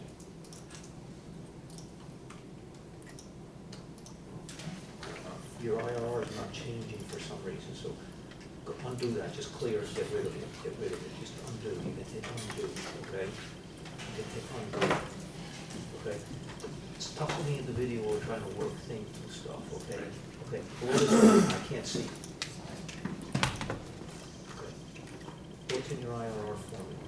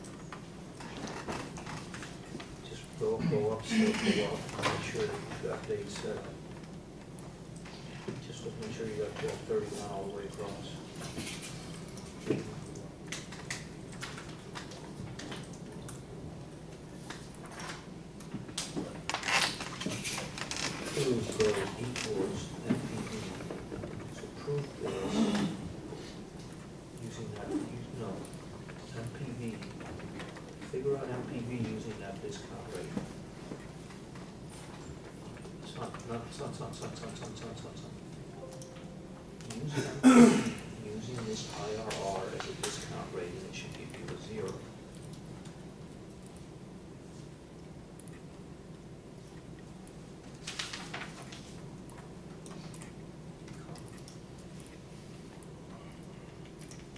Okay. Okay. So that, that sounds like it's right.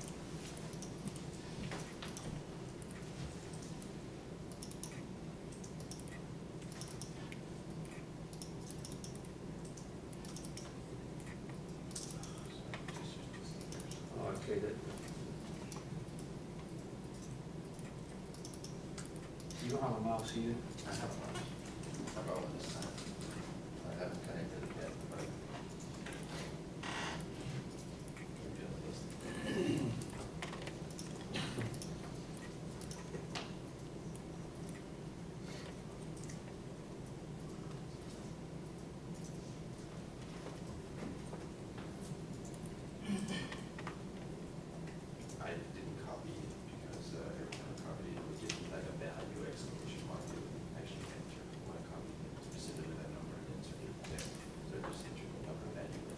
This is manually? Yeah, that's manual. No, it isn't. No, it's not, I guess it changed it. Yeah, it wouldn't work if it was.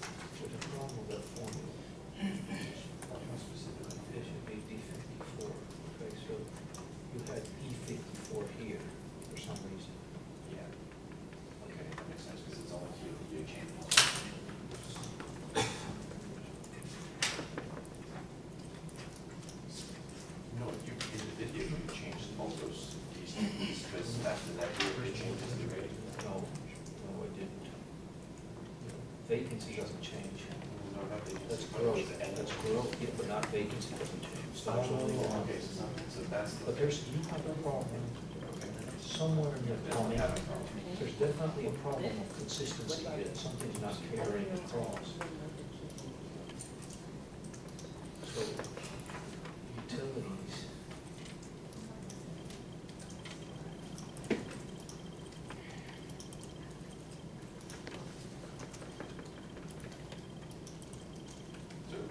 Yeah, I think, I think you've got an error, well, no, because the number.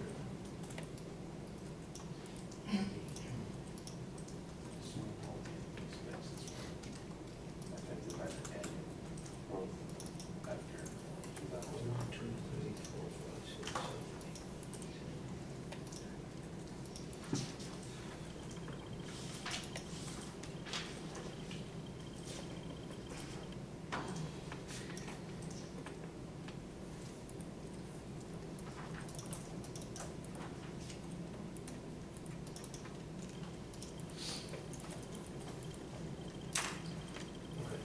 Okay, here's how to fix.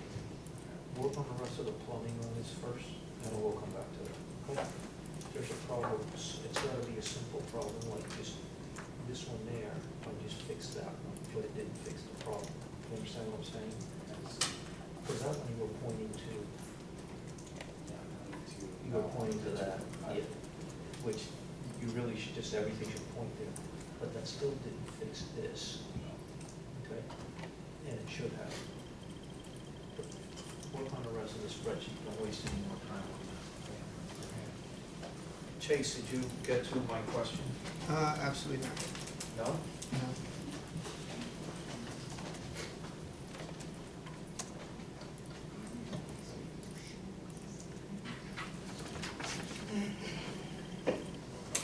I mean, I- If, if you have it separate, then you can always change it as one of the variables, okay? You can, okay, or you could just put it in a formula, I'm coming to you, Jonathan. Okay, Chase. How much do you look on the cap rate? You did? Absolutely. Okay. Look, walk me through, look me in the eye and walk me through the calculation. Of what? The Look, cap turn rate? around, just turn around. Yes. Okay, what's cap rate? Uh, discount rate deducted by the increase in growth. Just discount rate less growth? Yes. Okay, so what is the case telling you to do?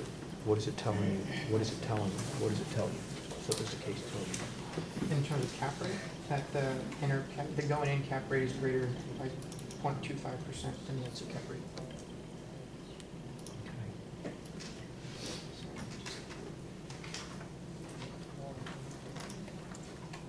Is that not right?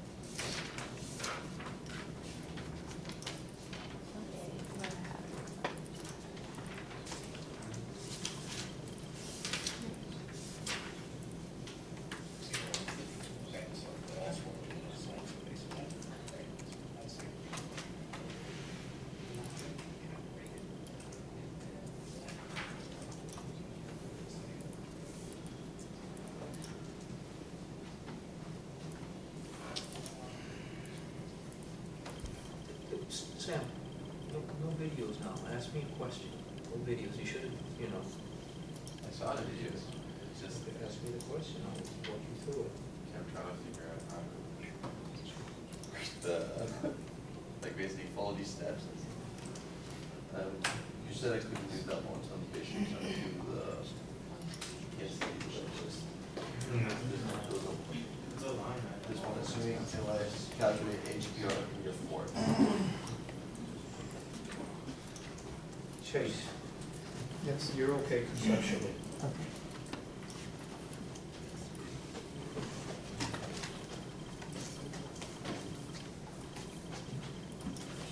I just thought the way I phrased it sequentially had to calculate the other one first, but it doesn't matter. Gotcha, thank you.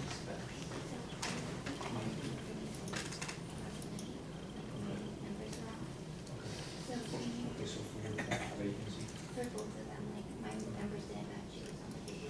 so let's go with vacancy first. So I know, Forget my video for a second, we can test what you have, okay, so, you remember our building? Where do we put, we're solving for something, yeah, so so what I do we have put it in there? here, my IRR. Okay, let's go to D forty-six, just to make sure.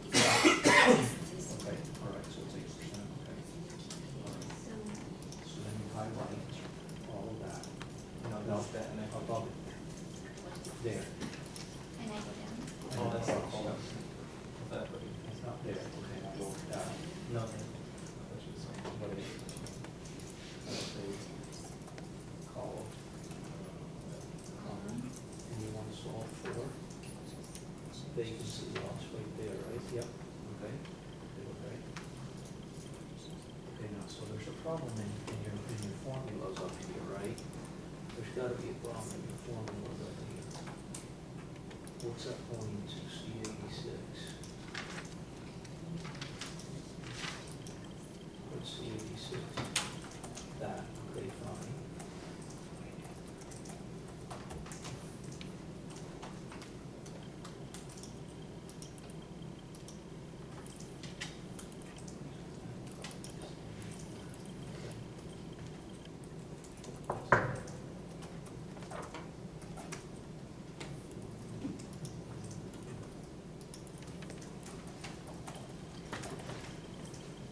Where's the, oh, down here.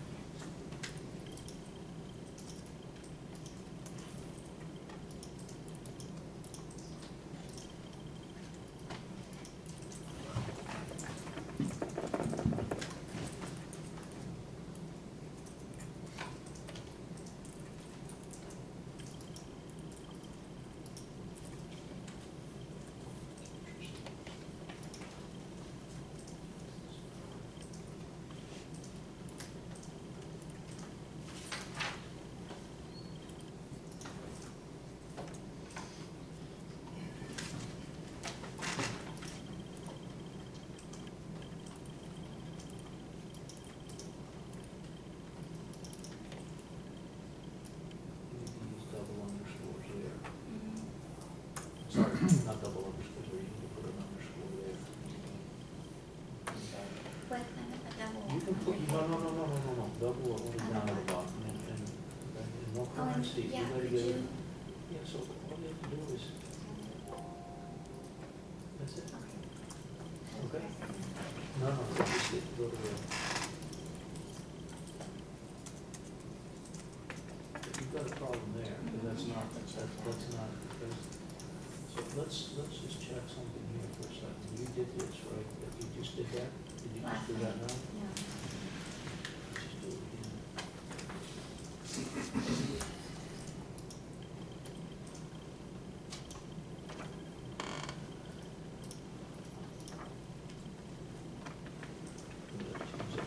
Currencies also. Okay, so it doesn't, that, that seems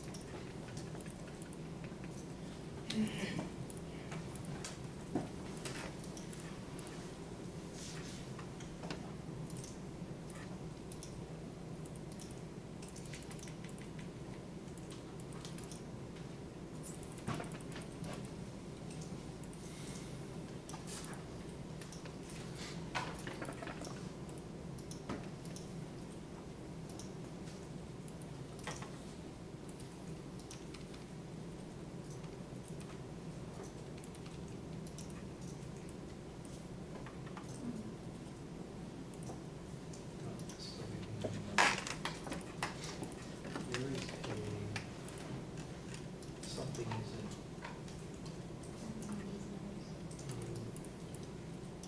she has the same issue as I do. yeah, it's not working. But Well, The problem, the problem is there's, no- there's a problem here, somewhere in the flow here,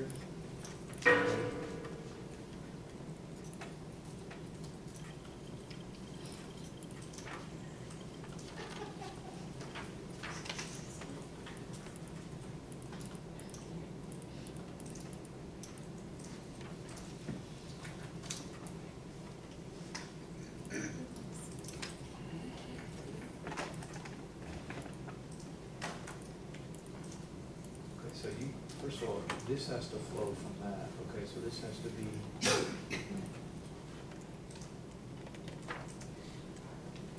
Where are these cells coming from? Same thing, so we can use the same thing, you know, just copy it this way, right? Ah.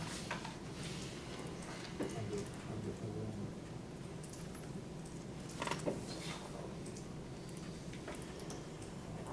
Why is, why is, let's just do that. Let's just-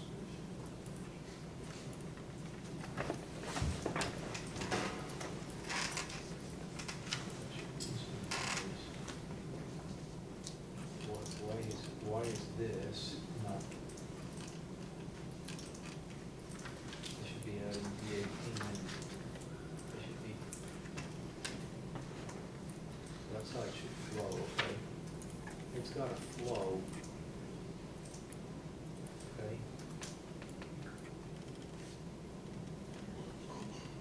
Okay, and so you know how you can test it is. um, So what, six percent is seven point eight, right? So why don't you just go and hit point four six? Four six, and then that gives you a seven point eight. So now you got it working, and so what, what I, what you had to fix, and what I wanted to say is, it doesn't like formulas there, it likes numbers. Okay, and then this has to be a summation of that, it's got to flow, okay? Thank Does that work? Yep. I Yes. can get my discount rate to, to match my weighted average coupon. So I've You can't, you can't take your discount I rate? I mean, my IRR, my internal rate of return, to manage my, and then I can Did you get get this to add to equal to what?